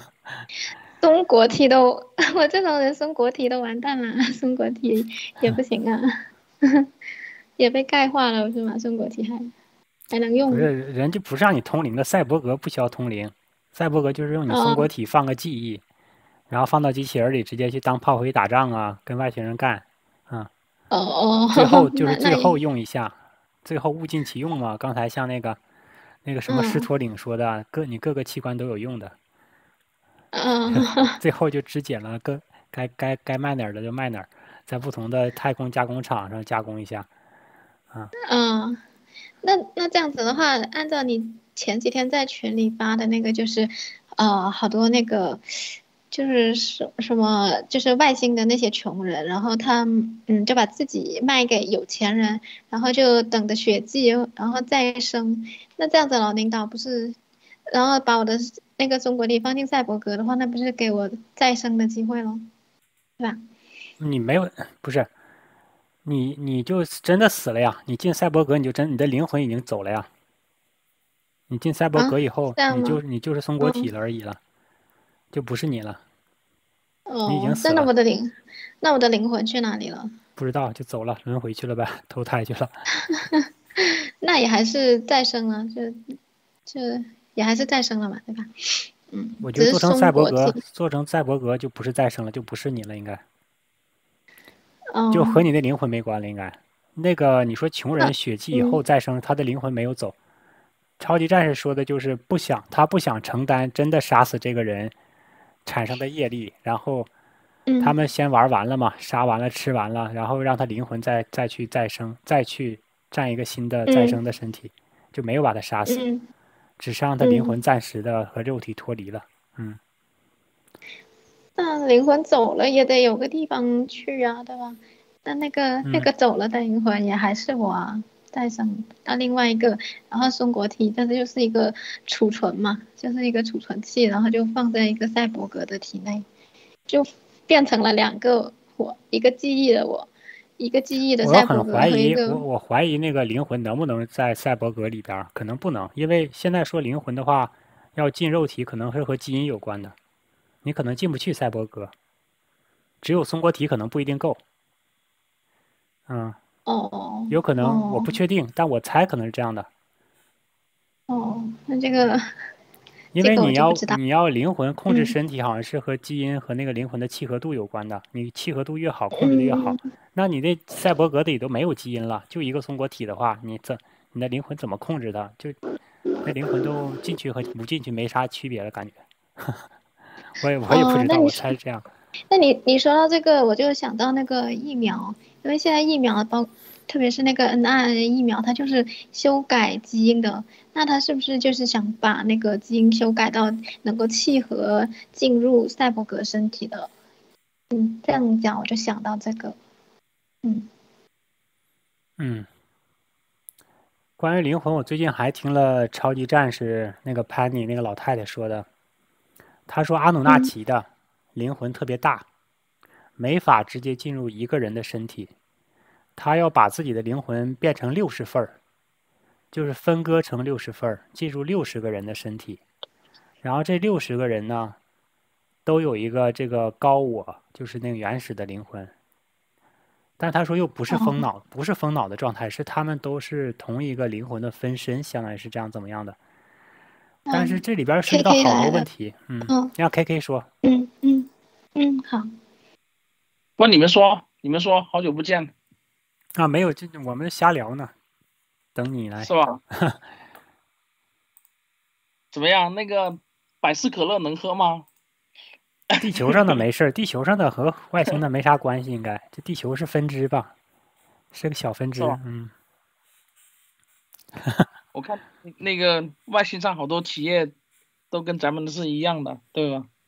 嗯，还有几个外星的我没发，它有一些是专门只有外星外星的亚马逊，就是星际亚马逊，它不叫亚马逊，叫另一个名字。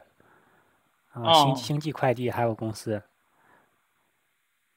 嗯嗯，还有一个公司地球上也有，在地球上是一个挖挖石油的，但是他说那个公司在太空是挖挖金矿的，挖黄金、钻石和那个钛。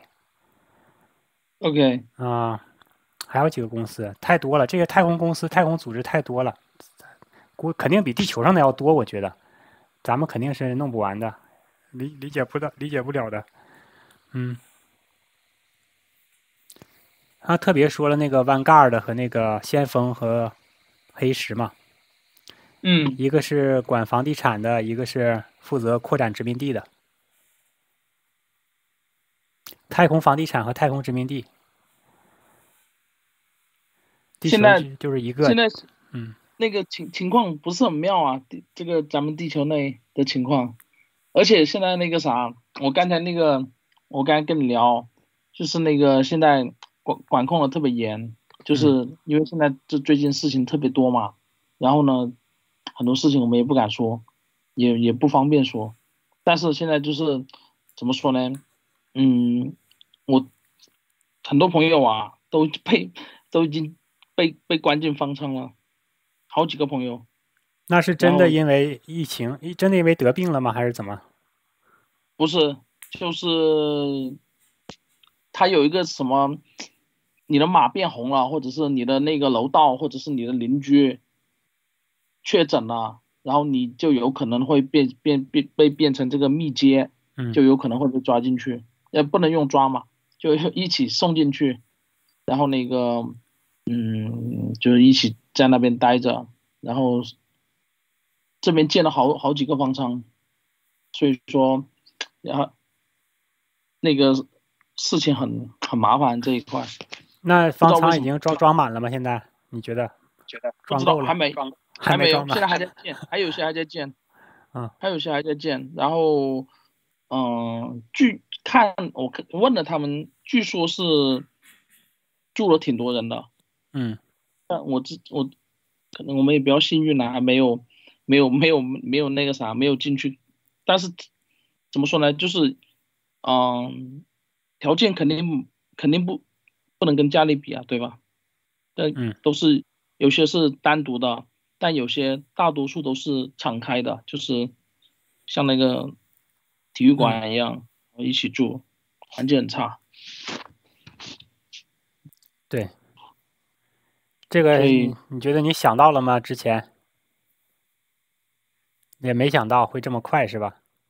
到深圳，现在有点不知道为什么，就是有点好像有点失控的感觉了。嗯。现在，而且现在每天都有新闻，他不能讨论。二十大以后是吧？就是赢了以后是吧？一直就是开始，你觉得是赢了之后这个点吗？还是之前就已经这样了吗？不好说这个东西，当然我们说的说是不好说，其实我们自己心里面都知道，对吧？嗯，这这这这一块的东西，有可能会有一个有一个大的改变吧，就是整个方向或者怎么样，我猜呀，我个人猜的，但可能是在就是在最后的一个一一个一一个阶段，因为现在很多。看新闻的那种报道啊，其实很多东西我们在国内都能看得到，你包括哦，哦，都能看得到，不用不用不用出来看，就是很多东西都能看。他其实让你看，他慢慢的这个东西慢慢放开，而且你看他像他们上街啊什么的，如果是真的是抓的严的话，他怎么可能让你上街？嗯，对不对？这个新闻我们怎么能看得到呢？对，现在其实能看到，能看到的话，就证明说他是他其渐渐的这个东西其实还是。对吧？还是慢慢的打开的，可能他要要要一个一个过程吧，我猜吧。当然还有另另一个角度理解，就是他让你看来，让你接受这些，就是以后这常态。很多还有人这么理解啊。那这个东西就困难了，他何何必呢？对不对？那干脆不让你看不更好吗？就一起封掉不更好吗？慢慢的积起来这个东西，这希望之火可可可不好扑灭啊。我觉得还是还是有一个，还是会转变的，就是不知道往往哪转这一块这个方向不懂。其实这个这个经济其实真的挺差，因为我我能聊的就是从身边的角度，然后判断一下这个呃朋友啊他们的一些，就是从民生角度来聊这个事情，我们不能从其他角度来聊。就对人来讲，除非是家里面有有矿，不然的话真的是都是会。就是会会严重的打击到他们的这个整个的一个一个生活，你这个收入啊各方面啊，对吧？其实我们大家算算是对吧？不是那种特别底层的，但是影响还是很大。这个包括那个什么，我我之之前一直去的那个健身俱乐部也关门了，就是很很很切身的一个一个东西，就。现在我前两天刚出去转了一下，但基基本上都封了，转了一下，很多很多店铺都关了，基本上都关掉了，就是而且是永久的那种关，不是那种暂时的关，就是要转租啊什么的，就很看起来这个这个东西确实是，这太太伤感了。现在世界杯都没心机看，你知道吗？因为越看越气人，看别人在那在那玩。然后咱们每天还得核酸，就非常的差，这感受不好。当然可能够够有他的他的想法，我之前不跟他聊过吗？啊，最近你又和够够聊了吗？就最近赢了以后啊，对我这个我问就是问他分享嘛，但他觉得还是不错的，但是我觉得我我觉得可能还是稍微差一些，离不错这个肯定谈不上不错，对吧？他说在这里面都是免费的啊什么的，这得他来。啊，行，这我们就当面问，嗯，很简单的道理，对吧？你这个你真的是希望在里面免费过一辈子吗？还是怎么着？监狱里也是免费的，我不能，我们不能这么直接的去去去回答他，但是确实是，对吧？这我们还是要有比较嘛。嗯，当然他可能会觉得说，就是，嗯，就是怎么说，就国家扛帮你帮你扛下了所有嘛，对吧？这是前段时间不是有有一个论调说什么啊，有有一个地方要放开嘛，然后放开的话，很多人就不不习惯了。就说你看，原来国家给你三层盔甲，现在一层层给你卸掉了，什么时候呢？我就觉得这种论调确实是有点反智，对吧？这个东西，那这正反都都你来说了，那怎么办呢？这个东西不能不能这样的。之前就文章说这个，就想象到你说这一天来到，反而有人不愿意，早就有是，对啊，就现在都发生嘛，就这领导可以两边反复玩嘛。反正怎么怎么玩都是玩我们，真的挺难的。他现在真的是，其实我也我也能理解了，就是整个这个棋啊，棋盘太大了。然后呢，之前埋的坑太多，你会又说这个东西有后遗症，这很很很强。一会儿又说这个是治愈性疾病，那都是卫健委说的。治什么叫治愈性疾病？呢感冒就是治愈性疾病，就是自己会好的。简简单来说，就是你会一个调，然后别人就。就就稍微有有，嗯，没有点对思考能力的，他都搞不懂啊！他一会被你这边，一会那边，你这个剧烈摇摆的太厉害了，也不知道听谁的。那最新到底是严不严重呢？最新的结论到底是严不严重？现在中国的我跟你说，嗯，那个我有个朋友，他中了，他在北京，然后呢，他在方舱里面，然后他每天就跟我分享说感受怎么样。其实还是蛮严重的，我实话实说，就他也是年轻人，呃，三十岁左右的，嗯，然后呢，身体也很好，但是呢，他跟我说，他说这个东西跟一般感冒发烧还不一样，就是他会感觉到很无力，然后呢，就头很痛，喉咙很痛，然后剧烈的这种反应啊，还挺挺那个啥，又又不想不想吃东西，有时候什么，嗯。连拿个盒饭都不怎么能拿得起来，你知道吗？我不知道他为什么会有这么这么剧烈的反应。然后他阳了很多天，听说昨天才康才变阴，就待了可能有一一周。然后也是怎么说呢？就是我其实我我之前也也以为说这个东西好像症状不是很严重，但是我想的，如果这种症状如果丢给那些有基础病的老人呐，可能也是。蛮蛮蛮麻烦的，这个就年轻人都都这样的话，所以我也不我我也不是很清楚说，呃，这个这个症状到底是轻还是重，对吧？我不知道你们有没有得过啊这一块。我觉得一点也不重啊，我最近又感冒发烧了呀，就像他说的嘛，就没劲嘛。你那个可能不是啊，你那个可能就是正常的感冒发烧啊。对啊。是不是阳性啊？就是是不是新冠肺炎啊？不是啊，就感冒发烧，那感冒发烧都有那类似症状啊。哪有那么严重啊？他不也就是只是发烧症状吗？嗯，不，他那个是确诊为阳性吗？他核酸是确诊是阳性，就是肯定是这个东西，不是感冒发烧，因为他在里面他有有做嘛，他们是进是又测什么那个叫什么，嗯，那哎那叫什么抗体，然后又但你发烧了，你就会是阳性啊，你就正常发烧你也会阳性吧？不是，不是，不是，不是，正常发烧怎么可能阳性呢？因为你有抗体啊。你就抗体了呀？你自己产生的是？你跟咱们那个我不是很清楚啊，这一块啊，应该是不一样的吧？他如果是专门是测这个这个这个 COVID nineteen 的，跟那个正常的感冒那个好像是不一样的吧？我不是很清楚啊这一块。嗯，就是反正他的感觉就是很很剧烈，然后嗯，我看了每天跟我我问他嘛，我因为我其实我自己也有点担心，可能以前得过啊，不知道啊这个东西。然后他也打了打了疫苗，打了好几针，没点卵用，对吧？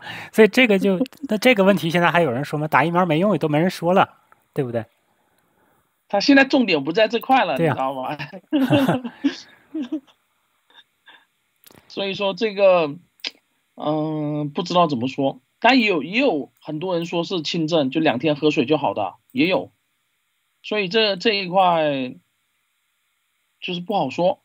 就但这是我我身边就是就是朋友的事情，就是我还是就是我只能谈谈身边的事情嘛。但其他的网上分享的我就不知道是不是。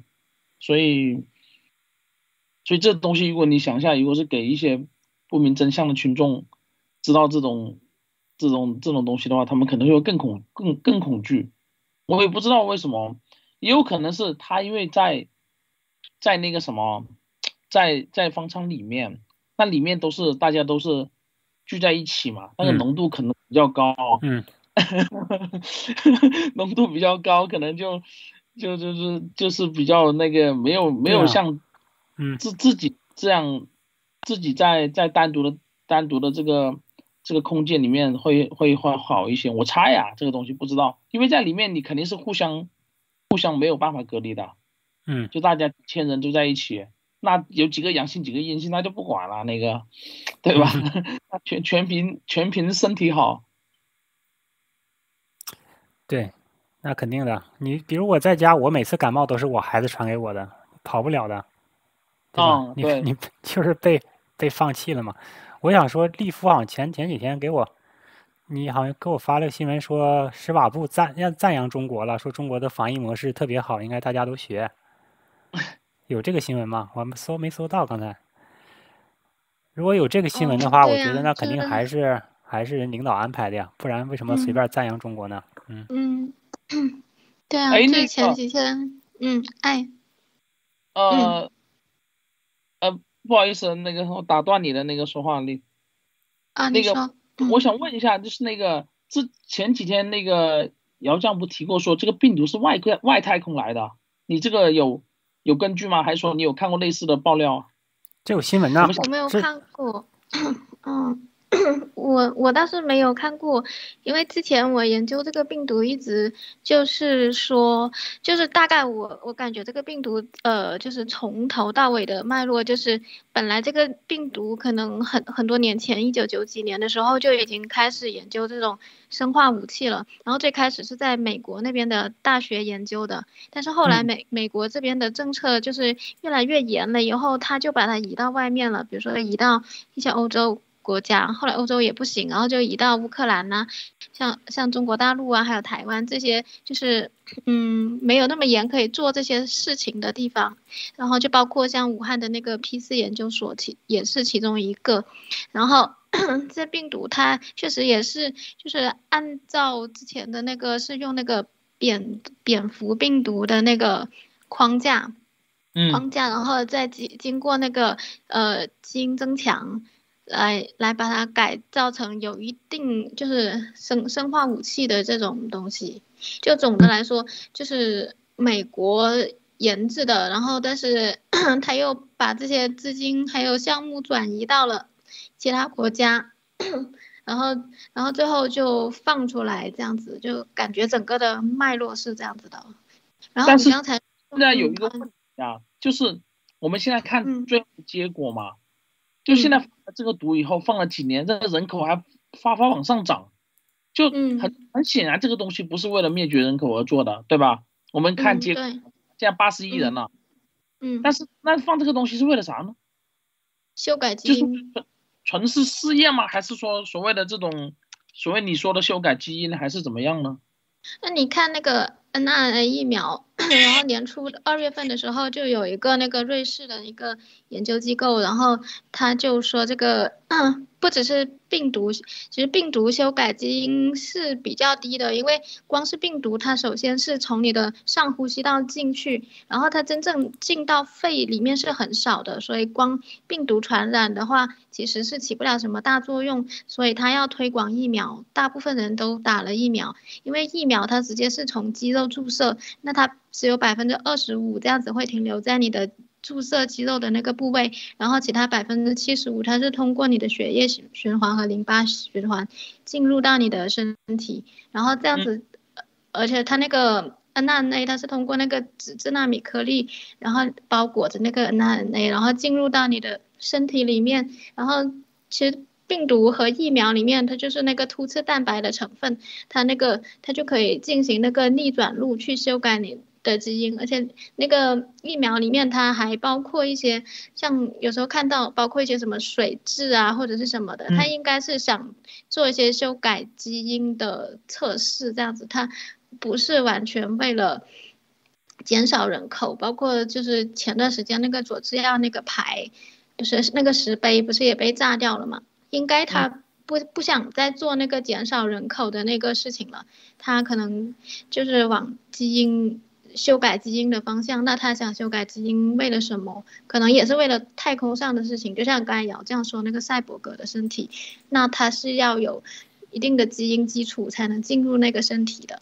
嗯，我感觉领导应该也是想往那一块去。对，这里有一个就有一个问题了。那很明显，那个咱们粉红赢了。我用咱们粉红啊，对吧？那我们国内都是灭活，没有 mRNA，对吧？那只有香港人打。国内没应该没有人打过这个东西吧？就是有可能也是少数人打了。那复兴拿的那几亿只也没有在国内打过。那那嗯，那按照你的说，N R N R N A 呢？它是信使嘛，对吧？信使核酸嘛，对吧？它是你说有一个 package 嘛，对吧？我们那个看到很多阴谋论说里面这个东西是它在细胞核里面之类的东西，那那个高科技的东西。但是你灭活的话，完全没这个技术啊，对不对？灭活的话，它也是有的，因为它它是整它那个 nRNA，它就是它最终起作用的是那个叫做突刺蛋白的成分。突刺蛋白就是从病毒上面的一个一个部分嘛，叫做什么？嗯，two 还是什么的那个蛋白。然后那个灭活也是有的，只是它变形了，可能它。那个作用力没有那个，不就是把它的突刺蛋白，所谓的突刺蛋白全部全部扭曲或者弄坏，或者是消弄弄掉嘛，只留它本体的那个那个病毒的那个那个细胞嘛，对吧？对，那它只是没有那边那么严重，而且这个，嗯，但是它也是有作用的，那不然那个灭活疫苗就完全没有作用就没有意义啦。它也是有的，它只是没有那个那么严重，而且它一剂疫苗里面总共好像有。呃，是那个科兴吧？科兴大概一剂疫苗里面有六十万亿个这种突刺蛋白。嗯。那那那你说这么多这么大的容量，比你人体总的细胞总量都还要大，那它起到作用的部分应该也不小的。嗯，有道理。嗯嗯，而且这个灭火它是用什么来灭的？它就是用福尔马林来灭的。那福尔马林它再怎么怎么去除，它也去除不干净的。所以你打这个灭活疫苗，相当于你打了一个大剂量的福尔马林进入身体。所以，就为什么就是这两年那个 急性白血病几乎就是爆发性增长，特别是儿科那里看到的病房，基本上都是白血病的小孩。血栓吧，对吧？白血病啊都有嘛，对吧？那个血栓，血栓是成年人，嗯，儿童。更多是白血病，嗯，对，那就是说打这个玩意其实也没啥用哦，对吧？就跟跟防病毒不跟预防是不搭嘎的，对不对？不仅没啥用，就是有反作用啊，嗯，它会降低人体免疫力，像之前那个。呃，Jackie 他不是也讲了嘛？就是六月份的时候，那个麻省理工有一篇论文，就是这个疫苗它是会降低人体免疫力的。而且我的家人确实也是，就是这一年，然后检查的时候就是得了一种叫做真菌性肺炎，那个就是因为免疫力下降才会得的，不然是不会得的。就是那个是因为戴口罩得的吗？还是怎么样？不是，它是一种鸽子病，就是你。自然界当中就是会有很多真菌的，但是如果你人体免疫力强的时候，你是不会被这个真菌侵害到。只有你免疫力下降的时候，你才会感染这个真菌啊。对，OK，嗯，那还挺挺挺烦的这个事情。对，然后呃，刚才你说那个也有，就是说呃，为什么就是打了疫苗的人，他那个新冠在就得新冠的反应会更加严重，因为他的免疫力下降了嘛。嗯嗯嗯嗯，这这点应该是有有根据的，这个我们很很简单就能分析出来嘛，对吧？嗯嗯，对，对，大概就是这样子。嗯，OK。那其实这个东西其实跟什么从外太空来是没有什么太大关系，对吧？我也不知道，因为我还没有的看到姚酱之前说那个是怎么样，姚酱再解释一下吗？问一下姚酱。啊。好，我在那个屏幕上展示了，这一开始最早期的时候，你看，二零二二零年三月二十四号，英国专家就说新冠病毒可能来自太空陨石嘛。然后俄罗斯专家也说，一开始是早期的，那我就不知道为啥人家专家要这么说了。不多那些外星战士，他们有提过疫情的事情吗？就是有提过这次疫情的东西吗？没提过。有提过，我没去看，但是比较早，几年前的嘛，我还没去看他们那么早的时候怎么分析的。有说过。OK，你可以去找。嗯，我觉得那些不重要了。太空战士不太关心这个这些，太空战士我也觉得他们有一个自己独特的那个地球观和宇宙观，没没有把这这辈子这点事儿太当回事儿。嗯，那你觉得我们一般人需要把这个自己的世界观跟地球观往上提呢，还是说还是停留在自己现实的这种生活中会比较好呢？就你个人认为，一般人不适合，一般人就像 Go Go Go 这种啊，就这你就拿 Go Go 说吧，反正咱老拿他说事儿。他这 Go Go 这种啊，就已经进了方舱的，然后还相信党国赢了的，对吧？主席赢了的，赢麻了的。我觉得应该先从提升自身生活水平着眼，就对吧？太空战士说的事儿和提升生活水平没什么关系。我，对吧？你赢了，你就先怎么能提高生活水平啊？嗯，不能就就不会说啊，免费的就好了，就对吧？就是你，你得有权利不要免费的，对吧？还得有权利要免费的，是什么都可以要的才叫才叫好。只有权利要，只有权利要免费的，那不不叫自由。嗯，我觉得还得提升这个，在现实地球上。而且看了你在外太空也是，也有穷人，也有有钱人。你在太空也也是海景房，你也也有钱人也住海景房，没钱的还是住那个更小的，比咱们住的还差。要是没钱的，可能就像日本那种吧，超级小的一个胶囊房。给你里边啥也没有，嗯嗯，可能有一个类似微波炉的，他们叫那个。那外星常年住方舱也不一定呢，对吧？对，不是他就那，就是咱们这儿还有社会福利制度吗？外太空按他们的意思是没有福利制度的，是完全是基于你的功能，因为它资源可能管控的更严格，是不会浪费的，完全是人工智能算法控制的。嗯，各种奖惩机制非常明确的，你要没用，基因不行，直接就淘汰掉，做成赛博格呀，或者卖钱控制你这个头脑中的想法，对吧？我看他的那个说，那个外星人是说的，他那个他有有专门的检测检测东西，可以看到你，比如说你有任何的反反对啊，或者是想这种有想法的话，他就马上就能把你扼杀到这个摇篮之中，他这个脑机芯片实时就能管理到你这个这个想法，这太恐怖了，这个。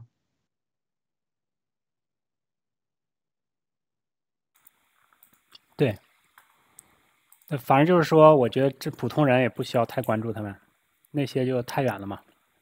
那就就你真的要修仙的，就真的是要看看地球以外什么样的，对吧？帮助你扩展修仙视角的。嗯，我感觉是那个层次的，就比修仙的还要高一个层次，就科学修仙的一个升升级的升级版的科学修仙。嗯，我我也觉得你说的对，就是要普通人还是要要要以改善，就是当下的一个一个环境为优先第一考虑。因为过两年没准真的发生大变化，对吧？像你们粉红说的，或者 Jackie 他们说的，那你还得先自保啊。对，不知道哪儿发生大变化，我感觉发生大变化也得，反正根据之前大的趋势，肯定是要亚洲先来的。就是那我觉得那个力气候比较小，现在按照气候变化的话，对啊，Jackie 也提过，然后好几个人也提过，这个东南亚是，就是如果是要亚洲先来，就肯定先从东南亚开始，就是好几个剧本都有提过这是这个事情，马来西亚啊、文莱啊，对吧？以前以前好像是这样子，就是那时候病毒啊。演练最开始的剧剧本好像也是从东南亚的一个什么海鲜市场，可是好像现在 老领导因为他在中中国的管控力更强了嘛，他似乎要选中国大陆开始。嗯，是吗？嗯嗯，对。我觉得这个是靠谱的理论。对，因为你执行这中国执行能力强啊，那就对吧？而且剧本铺得快啊，嗯，而且这个示范效应好，它它有一个非常强的示范效应。你在泰国嗯来，没人屌你，爱死不死；中国来就大新闻。嗯 嗯，有道理。对，而且这次咱咱还没分析特鲁多这事儿呢。你们得代表咸粉红说说，为什么主席这次能当面侮辱特鲁多，弄成国际大新闻？小粉红怎么说的这次？人家都不当回事，你知道吗？这这感觉这个这个只是一个对吧小插曲，这以后咱们那个在国际上挺直腰板的事情还多呢，就是大概是这个意思，你知道吧？没没有没有但我觉得这明太当回事。显是做的一个局啊，明显是给主席立威用的。这新闻啊明显是拿出来给主席立威的啊。我也觉得，我也觉得，就这个东西，你想一下，怎么可能有一个这么亲密的人能在旁边不到一米的范围内能能这个第一视角拍摄这一 这一段东西来，对不对？这个很简单嘛，这个东西嘛。当然，那个特鲁多表现也不咋地啦，对吧？你这个首先底气都不够硬，他可以表现的更好，但是他并没有配合你们一 配合你们一下嘛，没准回去给多少钱呢？回去直接啊领一个亿。那是那是，嗯，这个东西只有我们就是怎么说，中国人或者是华人比较在乎这种面子上的东西，对，可能会人他们可能会在乎就实际上的东西，就更更更更华更经济更经济利益一点啊，或者是战略利益，对不对？我们你知道，这大家的中国人都知道，我们是最在乎面子的，这这这别的输不要紧，这面子上一定得得赢回来。嗯，这我就是觉得挺挺丢人的。别的书，别的输也不是输在我自己口袋里，对吧？那我当然无所谓了，本来也不是我口袋里的东西。嗯，对，有道理。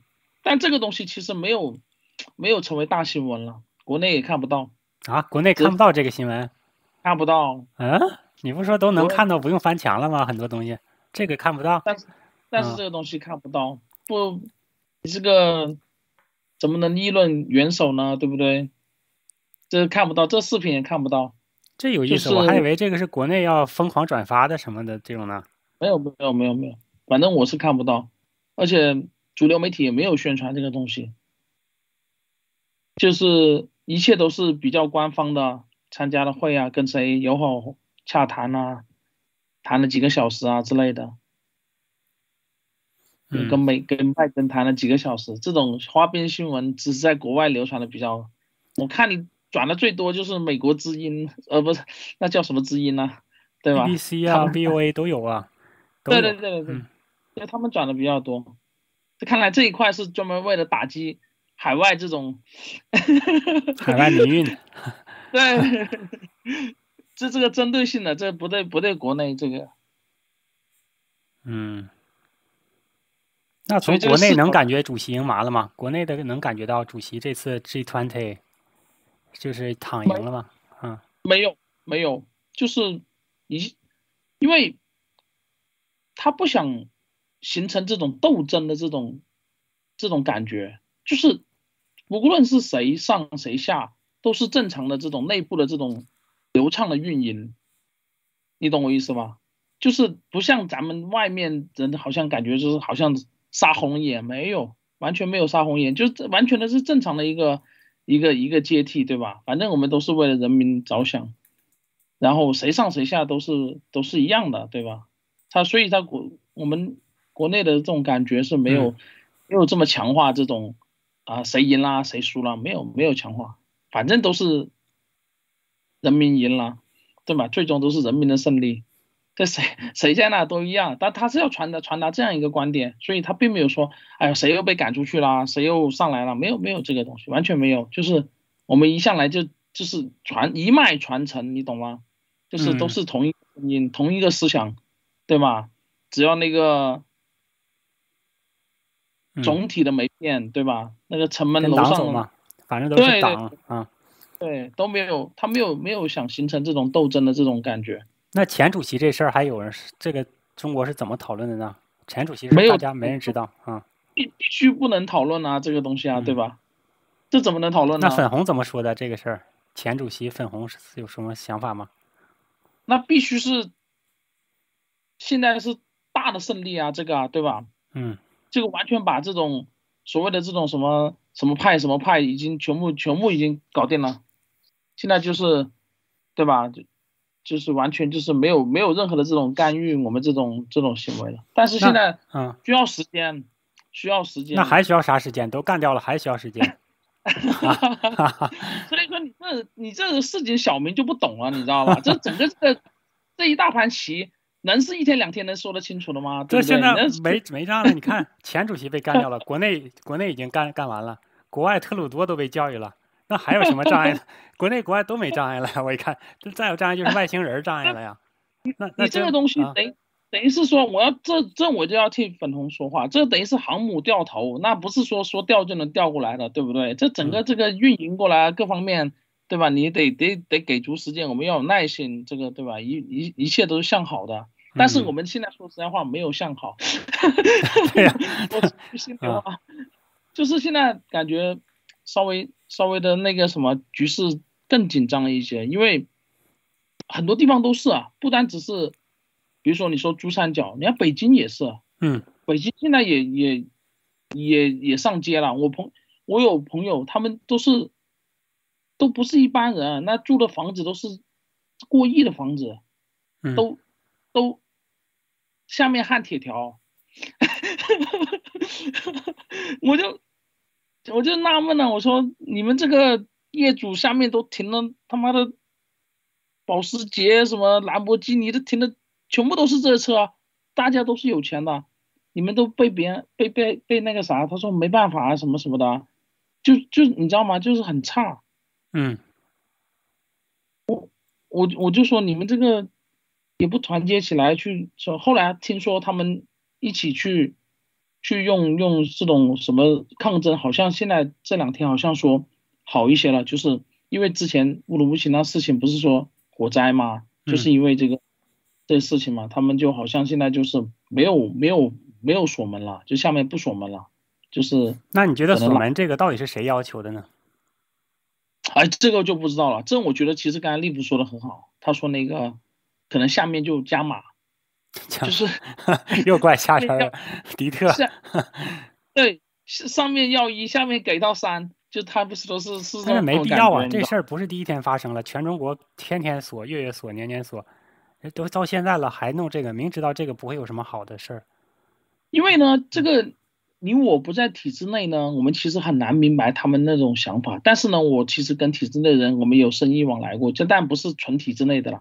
我这其实很非常清楚，他们要的是他们心里面怎么想，他们其实就更在乎就自己那个官帽子。嗯。然后他们上面是给固定的 KPI，就是硬考核，嗯。出一个你就连带，就是我们这里，比如说我们我们这社区不能有一个羊，有一个羊你们就一起一起承担，然后他们可能每一个人就把这根弦绷得很紧，你知道吧？就下面的就说那不能的话，那我就直直接干死，就可能是有这种嗯。有部分应该是有这种这种想法的。当然，嗯当然有些地域呢，我们要划划分两头说，有些地域本来那个地域本来就是那种，对吧？可能就是不消停的地域，我们我不点名，他可能这个东西呢，就可能有直接的命令，就说那这边就直接我们用最严严严格的手法来处理。但你看，其实像，比如说像广州、深圳啊，其实没有那么严，就是不然的话，怎么可能说闹这么闹这么大的乱子呢？如果是全部都关在家里面，怎么可能有乱子，对不对？他所所以是这个东西还是得看地方，看人的这个灵不灵活，处理的这个这个这个这个这个方式人不人性化，我觉得还是有区别的啦，就是不能这不能一锅端，这个东西我们要客观一些说。嗯，但有些地方可能是，对吧？你说像偏远的新疆啊，他们那地方可能就很严了，这点我是完全可以想象。就听说他们搞了一百多天，然后现在还不知道什么情况。我觉得这个东西不好说。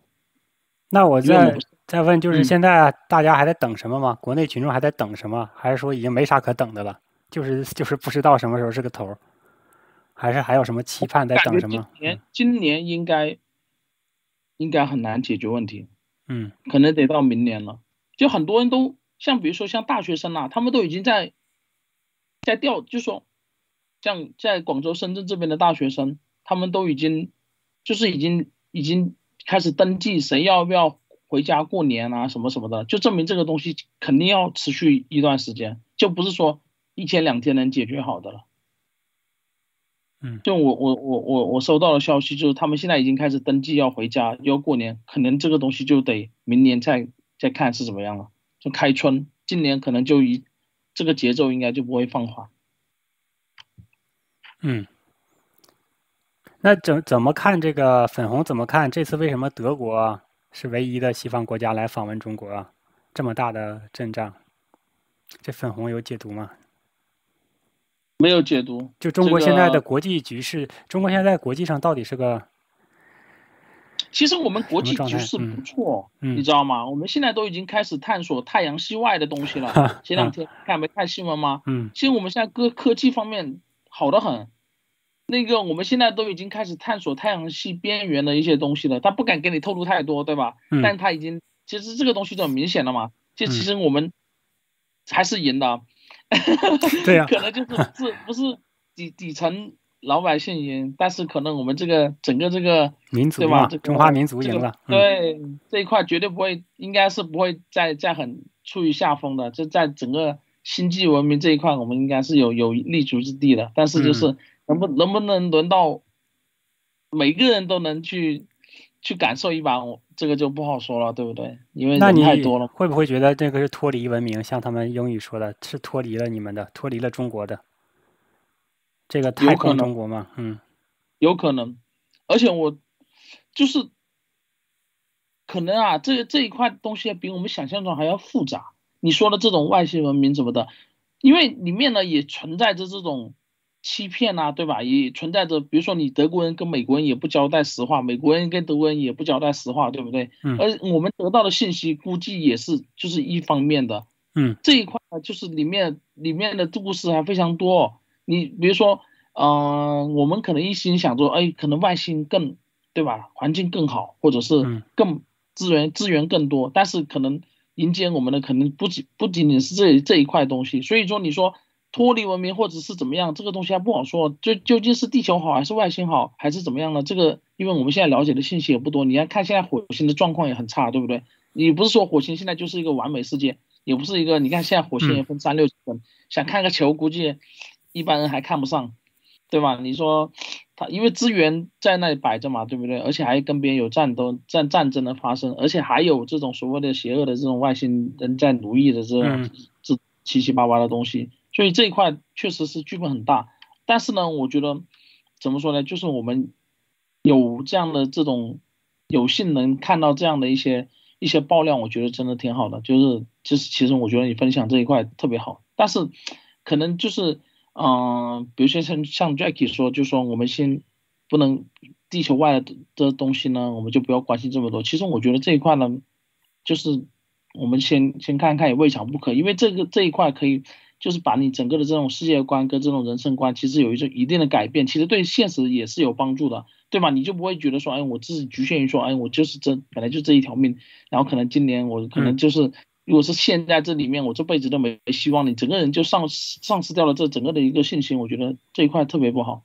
我还是觉得说，就是假假假使你的这个人生不止不仅仅是这一段，而且比如说时间线，我们说的时间线，并不是它是同时发生的，并不是说它是一个线性的一个一个东西。比如说人家都能掌握这种时间回溯或者时间旅行这样的技术，对不对？那整你对整个人生就是有一种新的一种体验，对不对？你会觉得说，就是。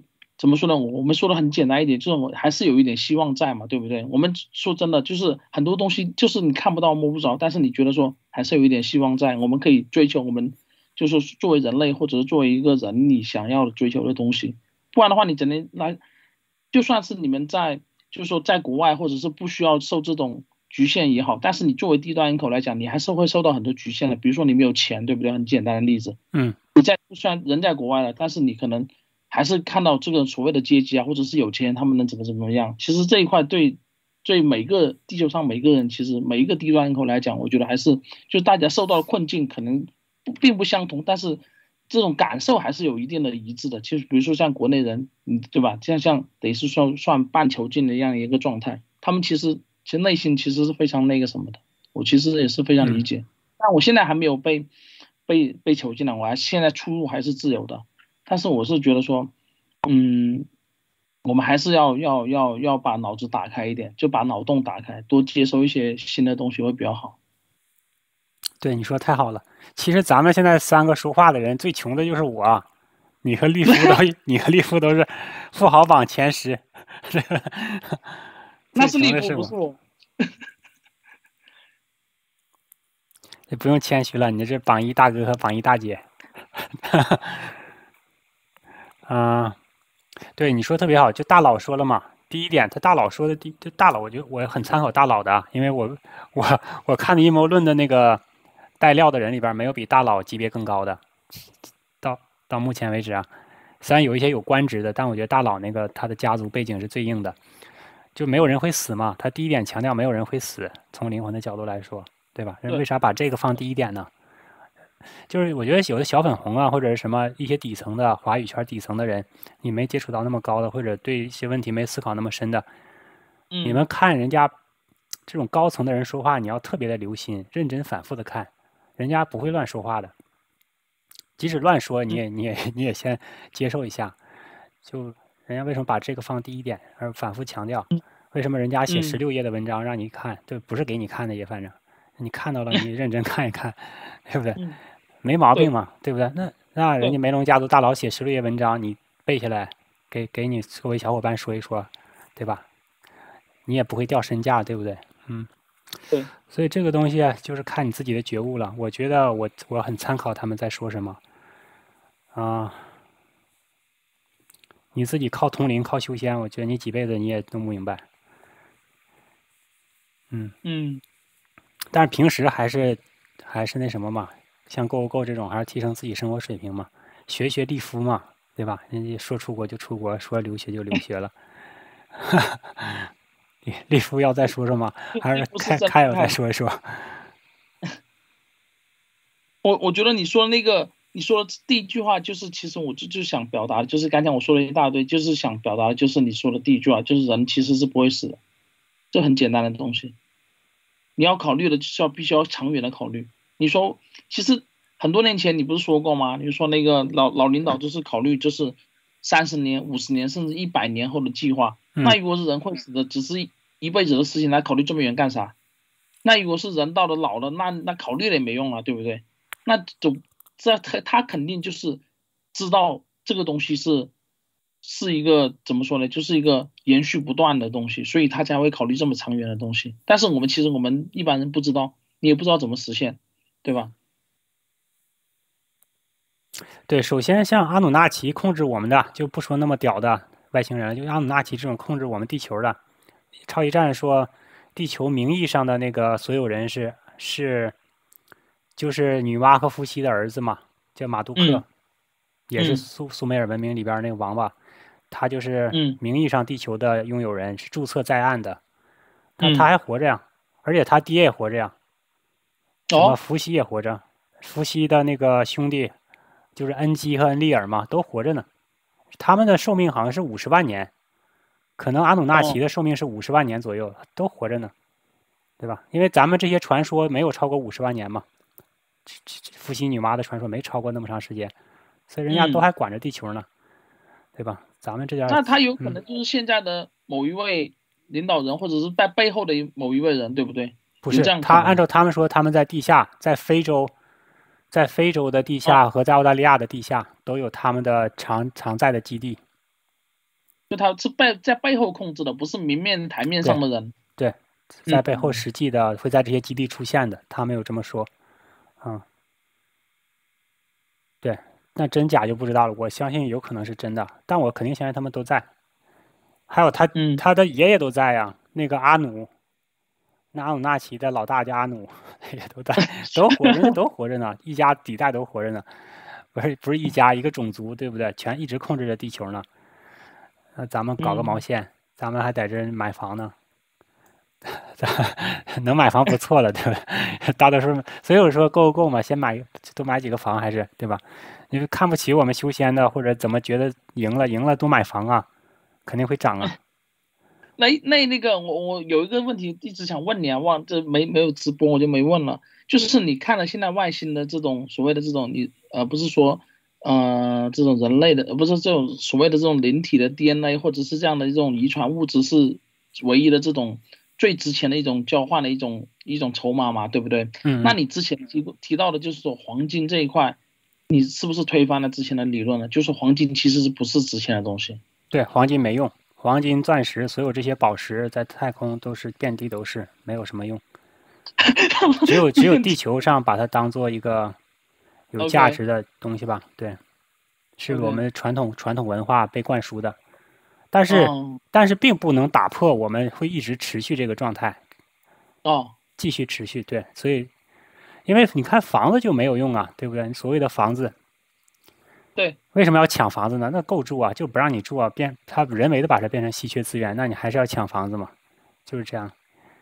OK，那那他还是在地球上会维持这个金钱的奴嗯役系统的，即使它以后变成数字的，可能还会把哎，黄金当成一个火星上面他嗯们流通的是什么样的一个方式呢？还是用钱吗？还是虚拟货币啊？应该有个积分系统吧？它就像动画片儿里不有那种积分吗？啊，对吧？你不赚积分吗？休闲小说还是啊动画片儿里，对吧？你有一个什么积分对，对，应该是这样的，我怀疑是这样。家里面一样，就是人类有一个信用的积分系统，然后一那如果看你就啊是上等人下等人，对吧？那如果按照潘妮那个说的，你那个可能是在民间有这种积分系统，你要是在军队里的，你就没有东西是你的。哦，你在军队里没有个人的财产，都是军队的财产，给你用的嗯，就给你啥是啥，你需要啥给你啥，按需分配嘛，就啥也啥也不是你的，嗯，你整个人都是军队的财产，都是整个这个国家财产嘛，所以就没那个这我觉得这这概念了。嗯这一套东西挺适合德国人的，就感觉就是完全就是他们发明出来的。就德国人这种严谨啊，这种所谓的这种固执啊，这在在这个外形上面体现的淋漓尽致啊。也就因为他他们这个对人这么干。他说到了一个另一个人说到一个细节点，我觉得也符合，因为他说德国人一开始去去火星建基地是穿越时间线回到之前，火星上还嗯啥都没有的时候自己建的，就是自己开拓出来的殖民地比较难。美国人后嗯来是直接抢别的外星人建好的，他不自己建，哦 所以德国人都是自己弄的。对，美国人全全是嗯靠那个靠黑人家抢人家的，套路就不一样。但是他们又说德国人对自己人好一些，对自己的低等人哦好一些，比美国人要强，那就不知道真假了。嗯，反正外太空华人很少，对吧？就基本上没有。就现在没听到他们提到华人的聚集地在哪儿，我我还没听到啊、嗯没有说特别说华人的殖民地的，嗯，就黄种人可能就只有日本人在上面，对吧？你说所谓什么韩国人、啊、有中东，人，有中东人，他哦，也有中那东潘妮人说了有中东人，中东有自己的太空舰队，但也没说别的，我只听到他说这么一个。嗯，OK，我觉得这是应该是真的。中东都不是搞了好多，中东搞了好多太空项目的。我这个得嗯可以研究研究。中东好像借卡塔尔卡塔尔和沙特有搞吧，阿联酋他们有搞一些太搞一些东西，新闻上有的，我没有去总结。嗯，OK，他们还是他们没有落下，嗯。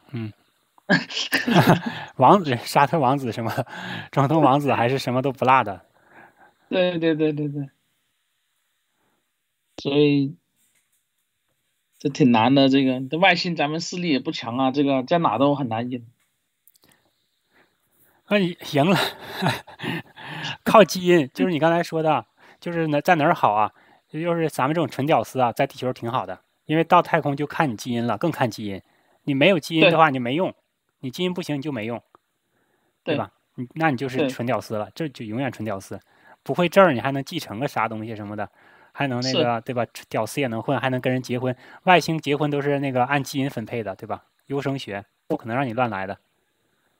你你基因好，有可能就会变成去做就做那个生殖机器，或者是被派到黑暗界里面干个三十年、四十年，然后再回来，就像那个潘那 那个谁一样，对，那个潘妮一样。其实也好不到哪去，对他不是基因特殊嘛，对吧？他是那个他是土著人血统，他半土著的血统，嗯。OK，土著人里边可能那种基因多一些，就没有被没有被灭掉吧？对，怎么样的？嗯，这确实挺难的。我挺我挺相信他们说的很多是真的的，当然按照你们听起来可能。正常人听起来会觉得无法相信判断，嗯。我最近看那个克里古德啊，嗯，他们现在在开始越来越搞那种像这种教教派收钱类的东西了，然后他完全走偏了，他之前现在不爆料了，现在就是完全拍点日常，就好像大明星一样，没有。料了，嗯，没料了，没料了，就完全就是，然后让大家去某一个，对，就去某一个平台。然后去某一个网站，然后大家在那集合，对，然后他会在那里发一些新的料，就是完全就是走向那种你知道吧，就是所谓的那种反华势力经常干这种事情，就是把大家先从这个，比如说在油管啊，在什么，在这种电电电报群啊这种东西先集合起来，然后就让你去另外一个地方，然后就大家在那里，比如说收个会员啊什么的，线下组织一下，就开始来这一套，你知道吧？我就觉得他的料已经完了，就是他现在完全就是在一个一就是能能能网络多少人就多少人，然后他现在可能已经慢慢，我觉得以后会慢慢的退出这这一块的这种阴谋。上线不要他了嘛，人家开始用新的人了，他就自己赚赚钱了，也不管他，让他赚嘛，对吧？嗯。对对对对对，因为他之前说了，他他们。这这一套东西，我其实好好几年前我还是挺相信的，因为它的料跟之现在 Penny 的料很像，因为他们都在说，我觉得他们应该有外星真正的第一手的东西，但是呢，他后面呢就是经常给你画饼，比如说他说哎什么二零一二年一一一三年就马上有一个太阳闪闪焰，然后马上就会觉醒，或者是马上会出现之类的，就说了很久。现在最新的料是到二零二四年。嗯，二零二四年、二零二三年到二零二四年，就每天每次都给你许个半年、一年的愿，然后你就等呗。嗯，等到到时候就说，哎呀，出现一些小问题啊什么的，什么夸克炸弹没消灭什么，又又又过两年，就慢慢拖你，就没意思了，你知道吧？联系就他们，对，就是一种一种一种东西。但是他以前讲的东西呢，我觉得跟这个咱们这这些这外星的这些。看你这这帮人讲的呢，我觉得有一些从有一些相似的地方，就他他他他肯定是拿到一些新的，我不管是不是他本人去过啊，还是说他有有人给他放的这些东西，就是横这个东西我们是可以横向去去去去去去去对比的，就是我觉得还是这一块的料还是有一定的可信度的，因为这么庞大的一个一个一一个宇宙观跟一个这种细节的东西，不是说你写个科幻小说就能写出来的。而且他是有有各方面的人去印证，而且有些人看起来都不像回事，你知道吧？就是感觉就是不像那种演员，你知道吧？就是我按一般的人来讲，像像佩妮这种领个低保，家里面烂的要命，然后女的长得又不好看，这这这这个怎么选也不会选到他，对不对？然后他啊，就出来对，还有起码选利夫啊，起码选利夫这样的声音好听的，对，声音好听的。像有些人还被杀掉的，之前那个什么，那个呃也是出来爆料说美国跟那个邪恶外星人有有一些计划，然后就就被死就死掉了。就其实看一些死掉的人，我觉得他们的一些东西可能真的爆料的一些一些内幕的东西，但我不知道他们现在这帮人这个有没有被威胁啊？如果是不被威胁的话，就他们还能一直在上面说，我觉得他们有时候也是有他们的目的的，就是你知道吗？这个东西不是说你想爆就能爆的，那肯定是他们还是有很明显代表德国那方的势力嘛，对不对？嗯明显的嘛，嗯嗯，这没有问题。但好啊，因为他不说谁知道？好啊，对，嗯，我是我恨不得有另外的另外一方又代表新的势力过来再再再爆爆料，对不对？来个日本的、中国的、中东的都来才好呢。对呀、对，所以很多人说，嗯哎，为什么这个都是外国人出来爆料，怎么没中国人？对呀我真的觉得，嗯我真的觉得就是我们可能我们真的到不了那一个层面，就是不关我们事，你知道吧？就是可能嗯这一百年咱们就落下了，这真的是落下了，嗯，就是这这是拖这这是在最后面，别人就是上去玩了好一阵了，我们才缓过来。但没有那么晚。你看那《红龙崛起》的话，就钱学森回去以后搞的。那钱学森，那你那咱是八十年代就有了，你对啊，八十年代你也那你只能从八十年代算起啊。人家五十年代就有了，人家是五十年代对啊，代进，那对，是五十年代，人家一战前就开始接触了，就开始画画飞碟地图了，对不对？这个你这样一算你不要推那么早，你推那么早，那人家早就一直有，对吧？你推太早了就那就没意义了。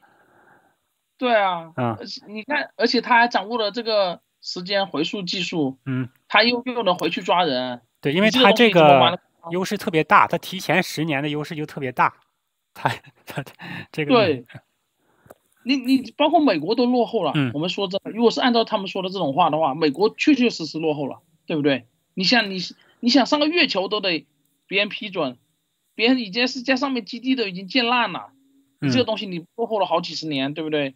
你还是挖别人剩下的，你回新回新增计划不是人家都嗯带走最精英的，那学霸都带走了，剩下一些学渣给你拿回去当宝来用。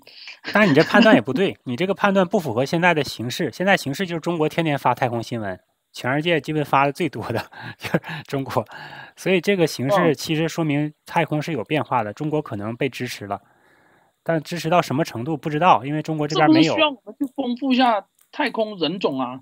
嗯就是感觉这个种族繁殖这一块，感觉我们这这一块的这个潜力特别高，像印度啊，跟我们啊这一块都是生殖大国啊，基因多样性。够，应该是这个是嗯优势，基因多样性肯定是这个优势。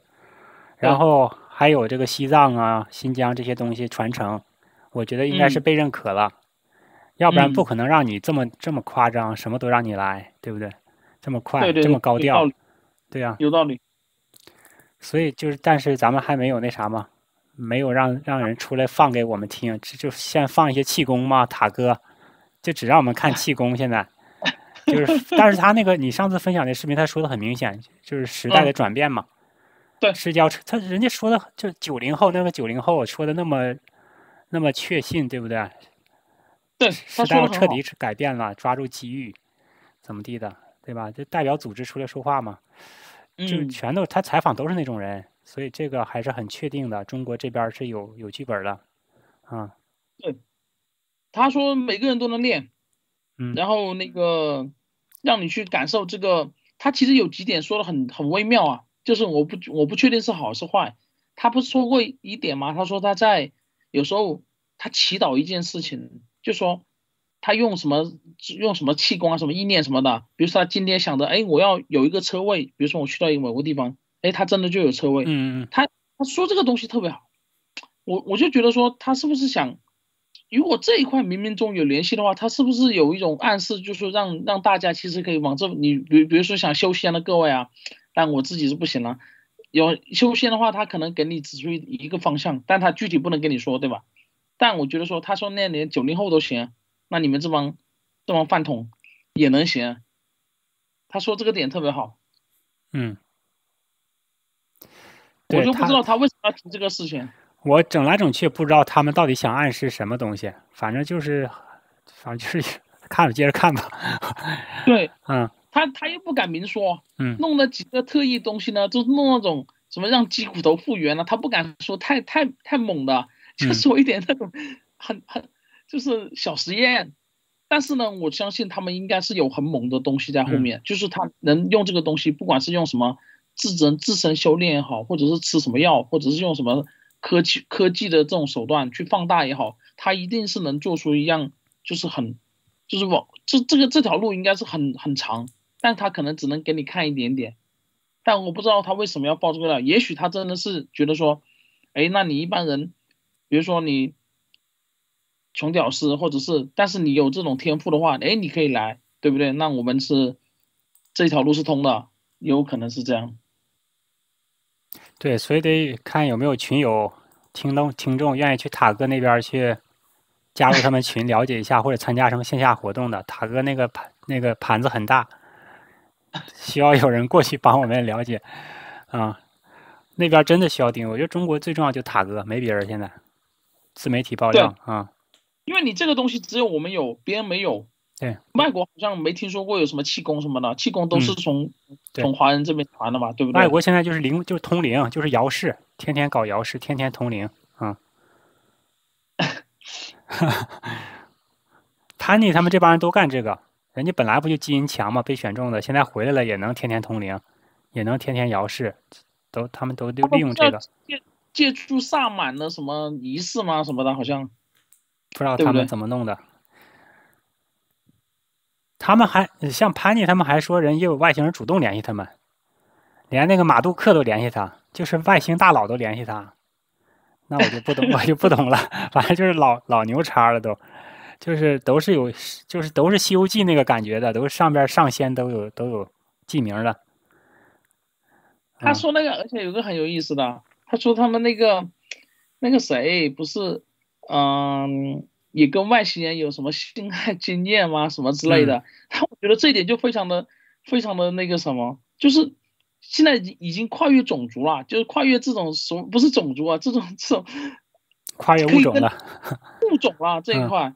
然后你，因为外星人也玩这个，也也，而且在外面有崇拜外星人这种、这种、这种、这种风潮，你知道吧？就是就好像以前，呃，旧社会。中国人崇拜洋人一样，就是，就是，我就觉得这个这这个剧本就是太太熟悉了，大家都这么玩，人类还崇拜外星人呢。又比如说有一些长得稍微像个人的，可能他们就觉得说，哎，这个特别好，感受特别好，而且不是肉体上的，可能是身心灵各方面的，一起双重的这种感觉，好像有有提过这个东西，就是你能 feel 到别人。他的 feel 就是心灵感应的一种双重的东西，哦，我的天老爷，这些就有点带节奏，这些所以这超级战士太多了嘛，啥人都有。对，对，你得辨别。啊，比较独特的就是像潘妮，为什么追他呢？大佬为什么能看上他呢？我猜就是因为大佬发现他也能自己做独立的研究，他不只是自己爆料，他还做研究来印证。嗯，既是爆料人，又是研究人。而且他还能采访别人，对吧？他还是自媒体，他还能，他还敢批判别人。他采访完了，他还骂，就跟我似的。你跟我做节目，我不当我骂你，啊，对，就是 就这种就很难得啊，你对吧？要不然你，你你这个这种，而且是常年的做。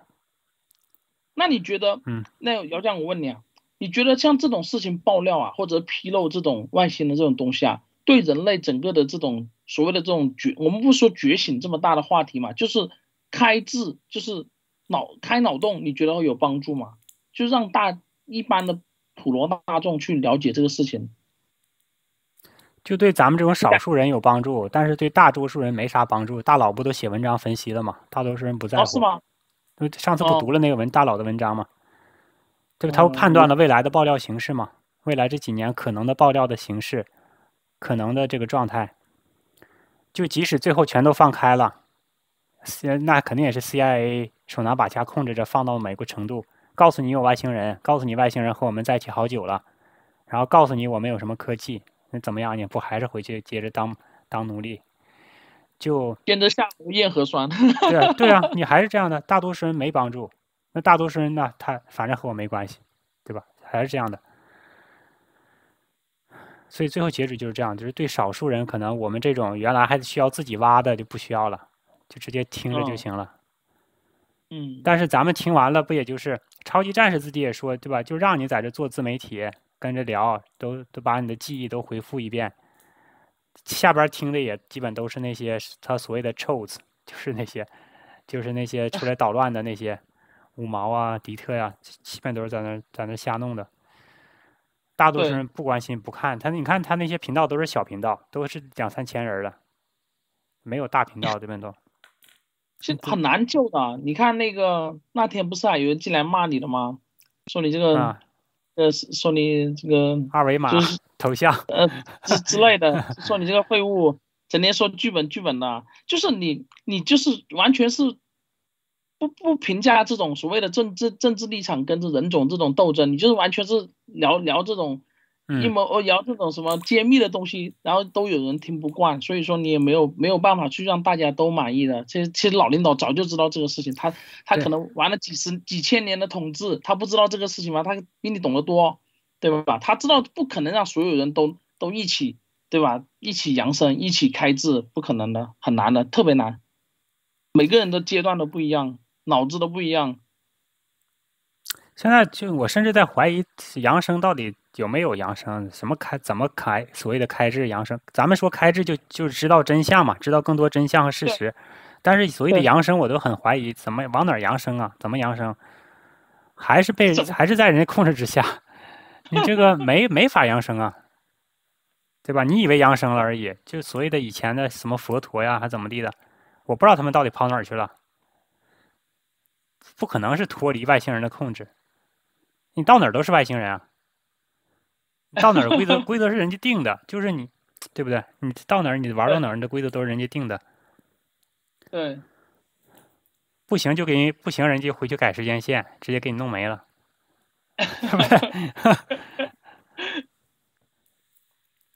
这个这个东西就 我就不知道了，反正很多我现在无法理解的，特别是加了时间线以后，那时间线说的就就是真的有吗？真的有以后，我就完全无法理解那很多事儿是怎么回事了。他们自己也我看也没说清。对啊，时间线这个真的说真的说不清。我昨天我跟我朋友说，我说这个时你不要把现在时就是过去、现在、未来看作是三，就是时间嗯其实不是线性的，就是它可能同时在发生。然后呢，我那朋友就说你是不是有病？你知道 你这解释不了的，对呀、啊你自己都弄不明白，还解还想给人解释，不可能这个事儿就是。就是就是好像说你感觉说这个东西，这这这个东西有，但是你又不知道在哪，就很尴尬。因为很多人都因为他这样能能改变这个，那很多人都说这个时间不是线性的嘛，对不对？过去、现在、未来都在发，同时在发生嘛，对不对？就像一部电影一样，你随时可以跳转到现在、过去。那你这个东西你怎么理解？我们这个三 D 脑袋，你没法理解，没法说出来。对啊，那就有无数个你了呀，对不对？就相当于那不就相当于无数个你吗？无数个每个每个人的版本很。多不是说，比如说你做梦是梦到你在发生一件不就是现在不是属于你的事情，有可能就是在平行时空、平行宇宙上你正在做的事情嘛。其实我这一个人我还是有一点点感觉，因为我经常梦到自己在做另外的毫无相关的事情，就是完全八竿子打不着的，但是是跟我这个人的历经历是有关系，就是说有关系，但是没有做过，从来没做过。就可能是说，比如说你这个屌丝，你本来做出来就是码农，然后嗯一一一一路结婚生生小孩，但是有可能说你这个你还是屌丝，但是有可能你就不是码农啊，有可能是送外卖的，或者是怎么怎么样，但是你你不能说。我现在在在地球，然后可能我另外一个另外一个平行宇宙，我可能是做做什么，在宇宙是干什么，可能没有这么跳跃，但是每个人的这种呃，怎么说呢？就是他的出生这这个轨迹差不多，但是可能有不不同的分支，小分支、大分支可能比较难。因为我有有我自己亲身经历，有你不你不是说你前段时间经常做梦嘛，也梦到发生不一样的事嘛，对吧？这一块这一点我觉得是有一点有一点可能。对你说这个很像他们潘妮说的，就梦到另一个自己嘛。他不是被脑控了以后，很多克隆体还在什么的，就能梦到他们在干什么啊、甚至不用做梦也能知道，就是平时忽然就穿越过去了。啊，嗯，我觉得这这个是可信的，我相信能这样做到，就心电感应嘛。对啊，对在高维的心电感应，嗯，有时候很很你遇到很恐怖的事情，就有可能是你在平行时空的另外一个自己遇到的，但是醒来发现哦，还好没有发生，但是也有可能已经发生了，就是另外一个你在面对的。有时候我有遇到过这种事情，但是呢，就是这个东西其实是跟你那个啥，嗯，你自己的这种不是每天都能都能遇到，可能你是我我的我的经验就是你的头脑啊思考的比较多，就是比较活跃的时候，他会有这种感觉，就是你很很死的时候，就那脑袋很死，每天不想转，那就不行，那那那就不那就遇不到。就你要脑袋很活跃，你不停的思考一些东西，然后不停的去那个什么，不让它停下来的时候，那当天可能就有这种感觉，就会会做梦，那很不，我不知道这个有没有根据啊这一块。对，我在想这么一个事儿，就是假如是不同个，有不同的你啊，就过去、现在、未来都在，那他们是不是同一个灵魂，还是不同的灵魂？如果你把它想成是同一个灵魂的，就是这灵魂是穿越时时空的，这灵魂是跨越时间空间，过去、未来、现在的，对吧？就是都是在同一个灵魂下边。嗯啊，这样的话，你能看见自自己的未来和过去，就就容易理解了。嗯，就你打通了那个维度嘛，进入灵魂的本质状态，过去、未来、现在都在。啊，这样可能更合理，这样可能更合理一些。它嗯，权限也很高啊，这个。这能量也很高啊，能能管这么多维度，呃，能管住这么多时间线的一个人。因为我对不对？我是刚才说了一个事儿，不知道你听没听到，就是潘尼说最近他一期说的，他说那阿努纳奇的灵魂特别大，不能放在一个人身体里，得打成六十个，然后这六十个都是一个一个高一个灵魂出来的，就高他们的高我都是那一个灵魂，但是在六十个不同身体里，那这个就提醒了你灵魂可以分割嘛，分割完还能组合嘛，对吧？是。那你说能分多少份呢？你能分两份，又能分四份，接着分呗，反正，这玩意儿这就变成无限个。那你就这个就就映衬了之前那个凯西不是说灵魂有强弱大小之分吗？对不对？他不说过吗？对，有强的，有小的，有大的，强的可能就分的多一点呗。对他可能最后有一个极限，你那个场就被完全破坏了。那现在他们认为灵魂是场嘛？不知道是个什么厂，大佬的笔记里就说什么生物、什么电磁场之类的，啊，那如果能这么分，然后咱们灵魂还比人家小，对吧？那咱们是不是也可以组合呀？咱几个灵魂组合一起，不就和他一个差不多大了吗？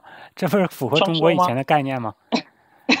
不是可以？你中国以前的修仙可以吸纳别人的灵魂吗？对不对？嗯，对吧？你可以把别人的灵魂打破，你也可以吸别人的灵魂。你这个越说越越越接近那个封神榜的感觉了。对呀，觉得没准那些都是有道理的。这灵魂到底是怎么回事嘛？嗯，对对对对对。那那问题来了，那现在比如说现在老领导折磨你的肉体，对吧？给你编程，你改变你的 DNA，那能改变你的灵魂吗？他比如说你你你你你你那个打 mRNA 进去，他不是修改你的那个？DNA 吗？把你那个链怎么破坏之类的吗？那这个东西会影响到灵魂吗？应该会。这个就涉及到那个，不是有的小孩出生了以后有前世记忆吗？还有的出生了以后有残疾，自带残疾，然后就说前世死的时候是受了什么酷刑啊什么的，就缺个胳膊少个什么手指头什么的。那应该是他灵魂就受伤了，还怎么样？那个场被影响了，他在发育的时候就发育不好了。我怀疑是这样的，就他灵魂那个记忆带上了。之前哇，你这个思考很深刻啊！就是问到哪你都能都能回答上。那你看咱是干啥的嘛？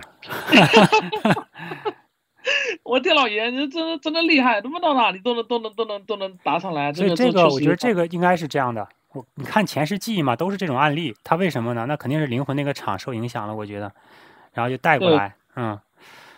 那那这之前咱不也问了吗？那你能受伤也能修复吗？那现在。看起来就是能修复嘛？上次不是说人家还有技术能直接提魂提取灵魂魂源嘛？提取灵魂的本质的东西，那是不是就真的能提取你最基本的构建单位？没准人家还能重新组合，重新给你加强，或者让你弱化，都能做。那这一套技术就是咱们不懂的了，吹起牛来无敌了。这不是吹牛，这是灵魂动力学，你不懂。不懂。确实是，这个是是很值得研究的。因为这个东西其实也能改变你的人生观跟价值观。你想一下，有无数个你在同时的在这个时空下艰苦的跟老领导做斗争，对不对？然后你 对吧？这个这个东西其实聊起来还是蛮有意思的，因为我其实觉得说，我们聊所有的这种阴谋论或者是这种东西，为了开智，开智的为了让你更更好有更好的心态去去去面对现实的这种困境嘛，对不对？因为很多现实的困境你没有办法从单一的这种这种这一条路去解决的，很多东西还是得得，更何况说，对吧？我们我们说说到玄学的这一块，就是很多种有你的意念或者是怎么样能改变现实的东西，对不对？就是我们让这个东西能变得更好一些，对吧？对。啊、我觉得这就是你现在在地球上能研究最重要的事儿就是灵魂的事儿。嗯啊、别的事儿基本上就是肉体的事儿根本就不在话下了，就是对假的嘛。但但也不能说假的没意义啊，不是说假的就是没有，也不能说是假的，它也是真实的，就是啊、没有那么重要，就是呃怎么怎么对，因为那个是可以灭掉的，对吧？就我们现在只能说灵魂是不灭的，这样你其实重要的是怎么认识这个东西。嗯。嗯，只是现在咱们困在肉体里边儿出不来，你认识不到它们的区别，然后也没有办法知道自己现在到底活着是干啥，就容易被困在这个虚拟现实里边儿。那嗯我说虚拟现实也不能说它是假的，不是说这个现实是假的，它是真的嗯，只是说它不是全部的意义。嗯。嗯，甚至有可能是怎么样呢？就是我们做一个猜想啊，就是说，比如说你有有十个你平行时空下，对不对？然后你嗯现在这个你过得很差，但是有有有有其他的你可能会过得比较好，你就是也许能通过意念或者是通过怎么样的方式，你能跳到那一个你身上去，就是让你去不要去享受这个差的过程，而去享受好的过程，对不对？也会也也有可能会存在这样的可能嘛，对不对？或者人格分裂嘛。对，我就不想去去嗯过这种住在方舱，我要嗯去住在加拿大豪宅，对吧？就假举个例嘛，对吧？嗯就是我就不想享受，我不要体验这个差的过程了，我要体验好的，就是也许有好的让你体验，对不对？然后你比如说一个梦，一个觉睡醒以后，你就是你就感觉哎，我本来就在这，我没有在方舱，方舱可能只是一个梦而已，对吧？很多人醒来就说哎，那是一个梦，然后就过去了，就没有了。对吧？我就直接去在在好的一个现实中醒来了，就像那个很多电影拍的，不是说吗？哦，你说你就你就直接转移了是吧？你的灵魂就直接跳到另一个肉体上去了。对对对，对我就去感受另外一个。那你原来那个肉体换个换给谁了呢？跟跟原来肉体再说 换呗，对吧？那在梦境里和你没关了啊。就是你既然都是自己的，对吧？这比如说你说灵魂都照顾了嗯好几个平行时空下的，那我想享受哪一个？就是说我觉得说这个东西我不行了，我要、嗯我要我要抹除这一段记忆，然后我如果是你自己，就灵魂归不归你自己管？如果归自己管，归你的意念管，如果你能控制，对不对？但你不能控制就不能说。如果能控制的话，那我觉得这个东西应该是可以，就是有存在可能性的。你是因为很多人就觉得说，嗯哎，我这个我实在是不想活了，我就自杀，我觉得没必要，对吧？你可能你可以选择你想要过的一些东西。其实很多这种所所谓的这种修仙派不是说吗？就是说用爱或者是用什么意念，你你觉得你能，比如说像一个很有名的这个外星人不叫巴夏吗？对不对？他整天不给我给这种啊鸡汤给你喝嘛 啊对不对？你能选择你想要的，就是说你你你想要什么就来什么。就他说的东西，一般就觉得胡胡他妈扯淡，这什么鬼？这个你反正你给他提什么问题，比如说他说很多那观众很很有意思，就说我明天我就想开开豪车，他说你回去想就有了，他每次都这样回答，你知道吧？就是我感觉说他他他是通灵的外星人呐、我不怀疑他的真伪，但是我觉得说他这一块的这种感觉其实有点有点类似我刚才说的这种感觉，就是说你你是可以自己选择的，只不过你不知道你能自己选择。不，这个这个就很容易把人带偏。你就是这么想想行，但是实际上很难实现。就相当于说修仙，你也不能说一想就修成了，对吧？他，可能这个难度嘛，对对吧？嗯因为现在很多修仙派他们找不到找不到目的，你知道吧？就找不到点，每天看你这个这个节目，整天在说剧本，跟他们聊的东西不是一个概念。就我要替修仙派说一下，就其实这一条路其实也是跟咱们聊的东西息息相关的。嗯，还有就我得用大神之前说的话来说你，有可能你根本没灵魂，你想多了，你修不了。这有可这个也可有可不是所有东西都有灵魂的，对吧？这个这个咱也得，所以这个有的也不用想太多，没灵魂别瞎想了，有可能是你的肉体在那个在那什么就而已。对，你就是说所以有有自就在听的各位。自己有没有灵魂？自己要有点数，别乱来。对，利夫要不要说一说？利夫修仙，利夫是实践派呀，咱俩这理论派。让利夫说一说。利夫是跑了，听两个直男扯半天啊。没有，我觉得挺傻了。然后这个我也不是很懂。但是我感觉，那个时间，我觉得就是一个莫比乌斯环，就它不见得是同时存在。就我们看到的历史，其实有可能是未来，就它就是一个无限循环的莫比乌斯环嘛。而且就是从一开始，我感觉是这样，从从一开始所有的可能性就存在。然后为什么说你想什么就能来什么？因为从一开始所有的东西都存在。然后，嗯，就是你自己走什么剧本嘛？你走什么剧本还是靠你自己意念来决定的。嗯，就像就像一个树模型，然后你走到每个分叉路口的时候，它每个可能性都存在，但是你当下你选择走了哪个，然后就就会走上哪一个剧本。其实所有的可能都就在一开始就已经同时存在了。嗯。然后时间它就是，其实你不能说它，我们现在，嗯，我觉得是没有什么现在，就是过去没也没有未来，其实都是都是过去，未来只是我们想象的一个对以后的一个投影，但其实我觉得是没有就没有真正的未来，就都是过去，然后未来只是我们想象的一个东西，然后。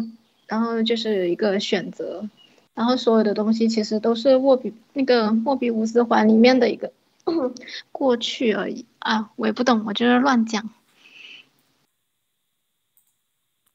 那你觉得能改变未来吗？那都没，那都没有，就是我我看的那个东西，他就说都没有未来。那其然后你你们刚才说的那些，就是其实你。呃，这么想什么来什么，就是看你的潜意识、你的意念，就是你那个那个东西强不强。然后那个东西，我觉得可能它要通过一些感受，还有一些就是你潜意识真正的，并并不是你意识当中你想什么就来什么，而是你潜意识真正的认为是那样，而且你感受到是那样，然后才会真正的实现实现。要不然的话。嗯，嗯你想什么来什么，那那就太简单了。那每每个人都可以，就他，并不是说你就是意识当中想什么就来什么，而是你就根深蒂固的达到一个潜意识的范围，觉得就是那样子，然后可能才会才会来什么。就像你说，我想我想有钱，但是想也没有来呀，但是你。可能就是你根深蒂固的，你认为我本身就是一个有钱人，而且你，呃，有一个丰富的感受，觉得哇，我真的已经住进了豪宅，我开着了好车，然后我身边又怎么怎么样，然后你你就潜意识当中你就觉得你是这样子了，然后可能才会来，所以未来是可以改变，但是那个难度难度也比较大，因为你一般人是没有办法控制潜意识这个东西的，嗯。嗯，聊的有点虚了，聊的有点那个，有点太悬了。这不是我们擅长的领域啊，这一块。这个对，这个就有点那种什么佛教里面的那种，嗯，对。我没有什么要说的，因为这个我也不是很懂哎。那个就是关于什么时能不能改变时间线什么的，啊。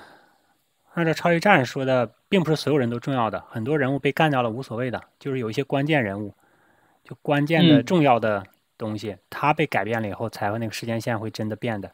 就时间线它有一个韧性，时间线有自我自我的那个修复，对，就不是修复，它就能它有一些抗性吧？对，它不会嗯随随随意变的啊。按照嗯他们是这个意思，不像我们想象那样那么简单啊。嗯，因为很多很多人聊到时间线，就拿这个蝴蝶效应来举例子嘛，对不对？嗯但是它这个东西只是一个特例，就不是说你每、嗯每次，比如说你你改变了一点点，它就能整个改变，它可能是某一个例子会能会这样改变。嗯，所以你说从后面从时间线里面拉几个人过来，比如说你就是 nobody，没有那么重要，你不会影响到，比如说二战该打还打，对不对？嗯，你原子弹该丢还丢，你不可能说从中国农村抓了两个小孩回去了，然后这个二战就不打了，这不不存在的这个。嗯，对，我觉得这个更可能是真的。嗯，甚至整个地球人都是无无足轻重的，对不对？没准儿，在在太阳嗯系里边儿都算不得什么。对啊，从人数啊，整个重要性来说，所以这个，而且你要看什么尺度的时间线，更大的尺度里边儿更无足轻重了。可能那天有有一嗯个、有一个群友问，他说怎么样才能时间旅行？对，那个人问了好几次。对，最最简单时间旅行就是遥视，你就天天想看到远远处的东西，对吧？看到过去未来，先想去吧，没准你就看到了呢。最最简单哦就是遥视，遥视就是一种时间旅行，可以看未来啊，可以看过去啊，就是想呗，啊、或者做梦啊或者要要不然就靠做梦啊。他可能想肉体回去，不是眼睛看到。对啊，但是 肉体没因为肯定要有机器的，你要肉体的必然，嗯，你要肉体的必然要有机器配合，我觉得，要不然你怎么？GK 谁谁又上来了？杰，这谁？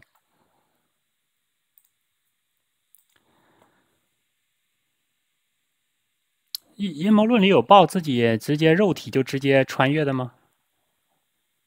就是靠有那种传统的阴谋论有，他说他是从什么七十年代七十年前回来的，拿了当时的报纸啊之类的，你忘了吗？以前很多这种新奇，以前很多这种新闻的，俄罗斯也有啊，美国也有啊。哦，那些是不可能是军方实验呢弄过来的？那也是应该是通过设备弄过来的，它不是直哦接就穿过来的啊、OK，应该是通过技术的。我我好像没有特意留意到直接自己肉身就穿了的。想想想想，我觉得你说那颗肯定是实验弄过来的。对，就不小心走入了某一个这种所谓的这种，对吧？嗯星际之门啊什么的。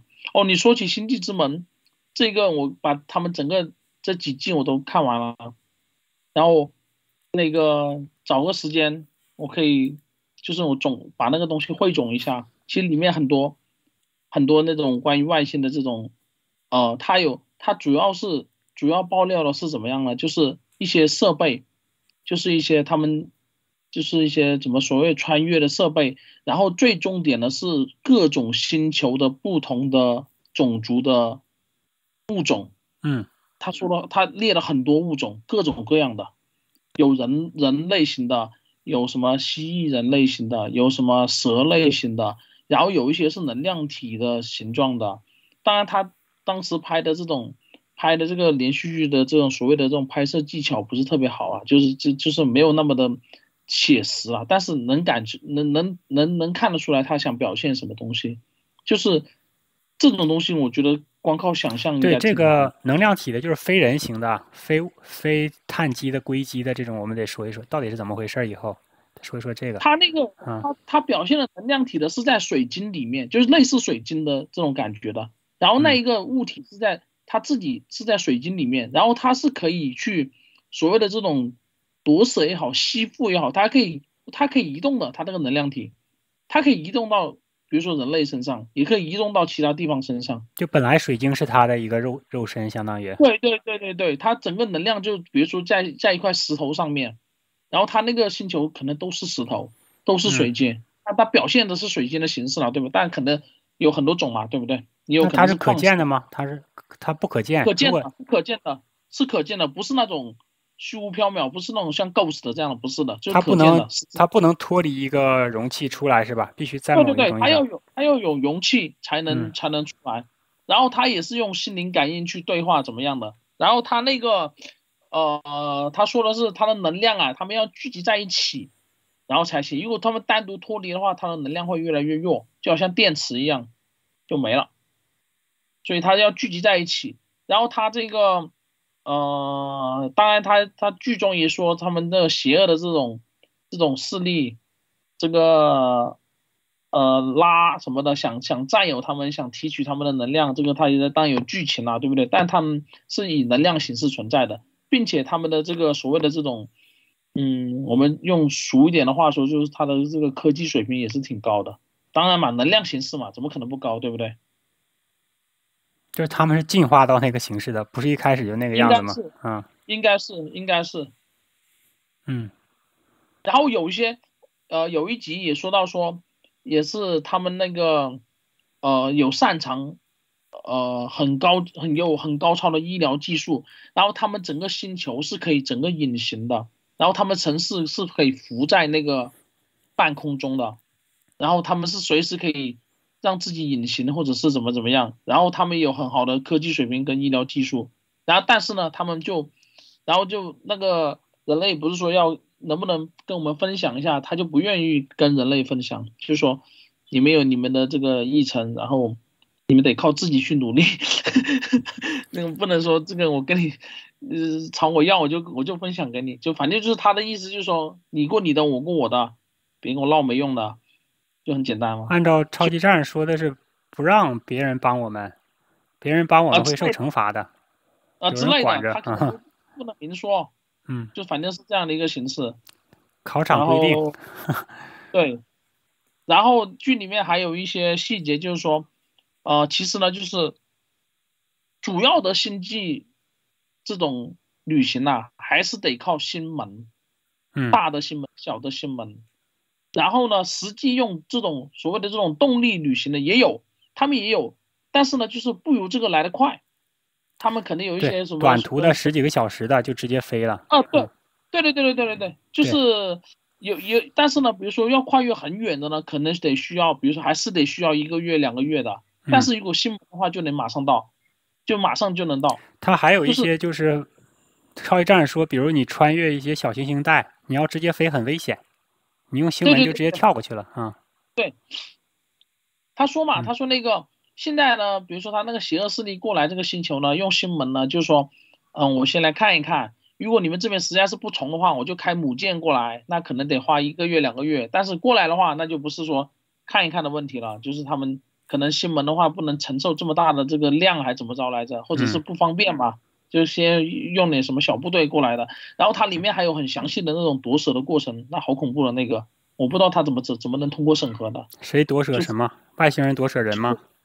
对啊，然后直接钻进人肚子里面，直接钻进那个屁眼啊什么之类的，然后就在里面跟你一起共生，然后你这个人就没了，然后就变成他的那个傀儡。病毒嘛，病毒直接那个寄生之类的，嗯，对，就是寄生的感觉，然后是一个小虫来的，就是跟那个以前多诺妈所说的很像，就是这个东西不大的，就是小小的一个。他这是什么族的外星人？这个？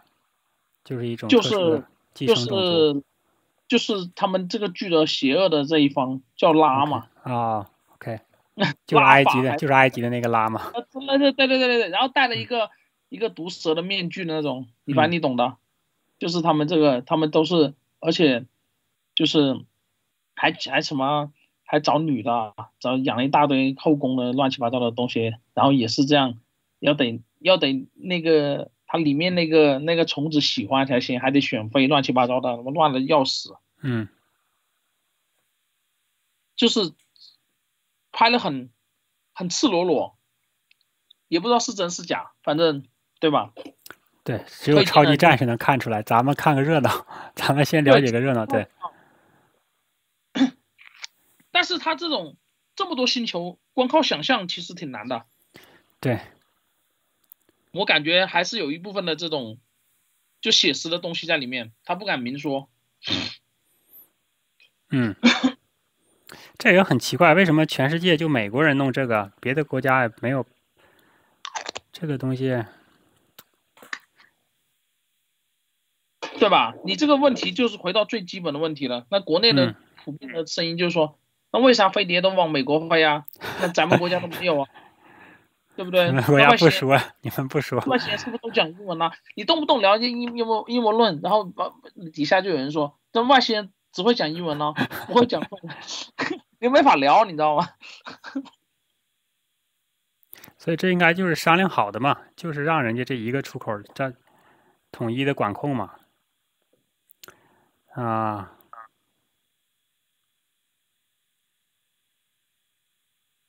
其实日本也爆了好多呀，日本不是都通过通过那个动画片吗？日本有爆料吗？哦，对，通过动画片啊，软渗软软揭露好多好多的，咱们以前也没有没有那个意识研究啊，对啊。他说：“宫壳宫壳机动队里边有一个旋转餐厅，很大的，就是在外星的一个殖民地上的，就那个日本德国的殖民地。真人版那个吗？真人版应该他是那个意思，但我没没看，我也没看过，没找没找到啊。他说有个超大旋转餐厅，就是他们这个市中心的一个特别主要的娱乐区。实景拍摄的，对不对？应该是啊。那我就不知道真假了。我跟你讲，那部片。”整个片都是那种未来城市的感觉，嗯，就是就是我看过那个片，就是那个赛赛博朋克那种感觉的，嗯，就是人跟机器混为一一体，然后 你也分不清谁是机器谁是人，得他说，然后呃好多人受伤了就植入机械臂，就然后就有纳米的东西在体内，然后就变成机器人了，然后就很混乱的，非常混乱。然后那个主角也是个机器人，那女的，嗯，那寡姐演的嘛，那个片嘛，所以那个片看起来就很玄幻，也许外形就长那个样子，就是大家人跟机器不分种类了，对，反正有个细节我想起来，那个人本来受伤了，然后。他植入机械臂，有机械臂还是什么东西的，我不知道。然后呢，回回去他喝酒，然后就酒量就变成无比的惊人了，就不会醉了，就跟机器融为一体了。哦，植入机械臂以后就不喝酒不醉啊？对，就不醉了，就怎么喝都没事。然后别人就他朋友就说怎么回事？啊？然后他说我他一打开给他看，你看机器的，嗯，就好像你喝了黑油一样，对吧？你黑油喝完，你马上。小学文化直接变成博士生，所有的文化都嗯，都都都过来了，这个确实挺吸引人，对吧？怪不得那个克里古德说，AI 以后是最大的敌人，不是什么邪恶外星人。他说，邪恶外星人也被 AI 占领，嗯，就天龙人也怕 AI，就是 AI 像一个那种什么，就是吃完一个星球又吃另一个星球，就宇宙中的。这种恶流，就很多宇宇宙的这种势力，这种种族都在跟 AI 做抗争，他们不让自己成为这种奴隶，就所谓的机器的奴隶。这个是他说这个是最大的敌人，不是什么灰人什么鬼的，不是那个，那那些我们都好办，但是这个东西很难办，就是你要抵抗这个东西是特别难的，而且它这个繁殖特别快。它而且用容易让人沉迷，当然会沉迷啊，对不对？你就受不了诱惑的。对，他是其实你是主动找他的，因为你要和别的外星人竞争嘛，对吧？对啊。所以你自己主动要接受他，然后他就利用这个让所有的种种族都接受他了，就得。对啊，那没办法呀，除非你已经脱离了肉体。所以就是。也许他们这个新的节奏，就不是哪个种族带出来的，也有可能是 AI 带出来，也不一定，这个你不好说。他他把这个东西说的很，对吧？你就是上外星的，必须得得得得得得跟我人机合一，嗯，不合一的话，你光靠你人的这个肉体是不行的。他也许在带这样一个剧本也说不定，就让你对自己完全的这种失望嘛。你人就是最低贱的，就是碳基的这种计算机，你不不上我们这种硅基的，你根本没法玩。你这个本来就落后了，你还不赶赶紧给我，对吧？喝油干下去，怎么怎么行呢？那黑油就是纳米机器人嘛，其实让你喝也挺好的，它它之后也可以给你再拿出来，可以再拿弄出来的，给你喝，其实都都算是便宜了，低端人口拿不到，就你会有巨大的优势嘛。对，你想喝还喝不到呢，对吧？就是你一下智商提高了一倍两倍，对吧？那你还像像利夫，干下去至少得百倍的提升啊！一倍两倍那算个啥？按他的说法，对不对？那直接就成，直接这个四八六五八六，直接就变成最新款的，对吧？计算机的，你这个，你不管怎么去跟其他外星种族做做斗争啊，对不对？你不是和你的速度啊，各方面反应啊都差。对，还有就是有一个超级战士，我最近听的，他说。他曾经达到过，就喝黑油啊，或者怎么样加强体质，就达到了像那个电影有一个电影不是有个女的叫 Lucy 吧？她最后是进化成神了，像是能改变，就智商不停的升高，智商不停升高以后，能改变现实，能改变时间线。他那个超级战士他说他也曾经达到了类似的状态，哦，就是他就能改变周围的空间时间的状态，就是我也不知道他到底什么意思。我，那你这样这样说的话，那个电影真的建议大家好好的去看一看，应该就是那种状态。嗯，他进完全进化嘛，他那个电影嘛，那个电影叫超体吧，好像是吧？嗯，忘了忘了。叫超，嗯，对。他是不是嗑药？那个女的也是嗑药吧？她也是吃什么药吧？什么东西？怎么弄的？她怎么进化的？具体细节想不起来了，反正她是慢慢进化，最后就不是人了，最后她就就能瞬间移动。然后能能把所有的整个地球的能调用整个地球的计算机的信息，然后就跟就是就是整个就超体了嘛。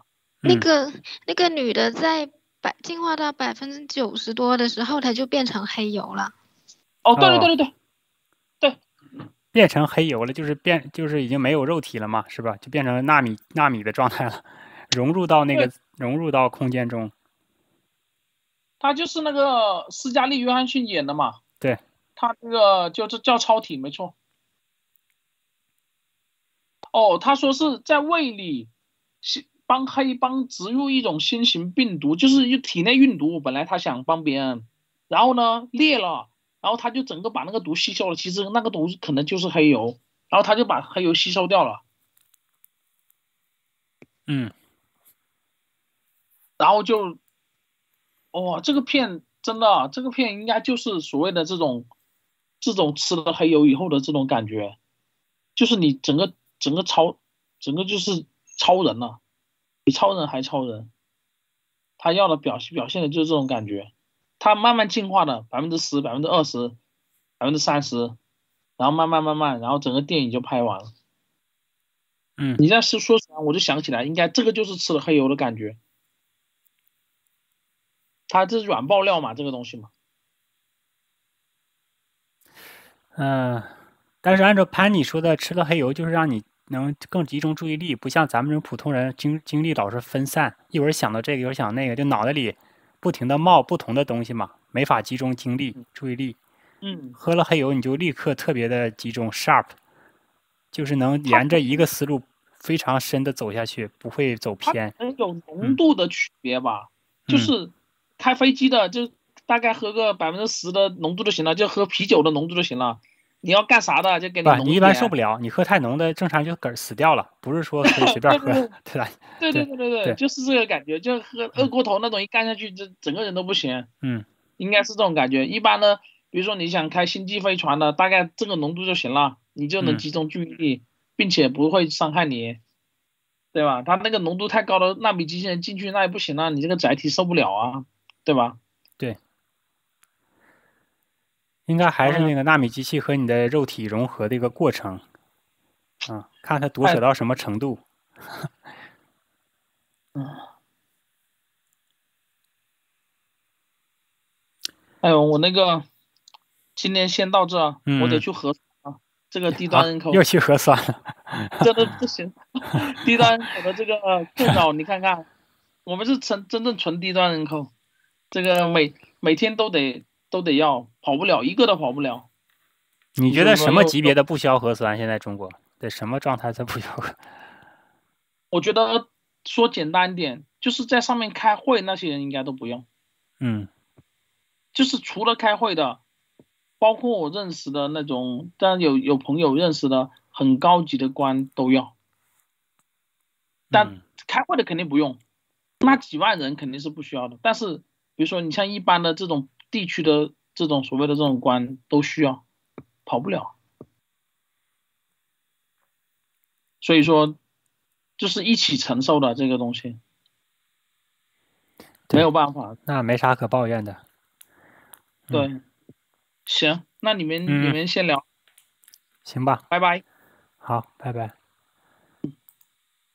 那今天先到这也可以，啊，也也聊挺久了，三个多小时也累了啊那就直播结束了现在啊拜拜嗯嗯。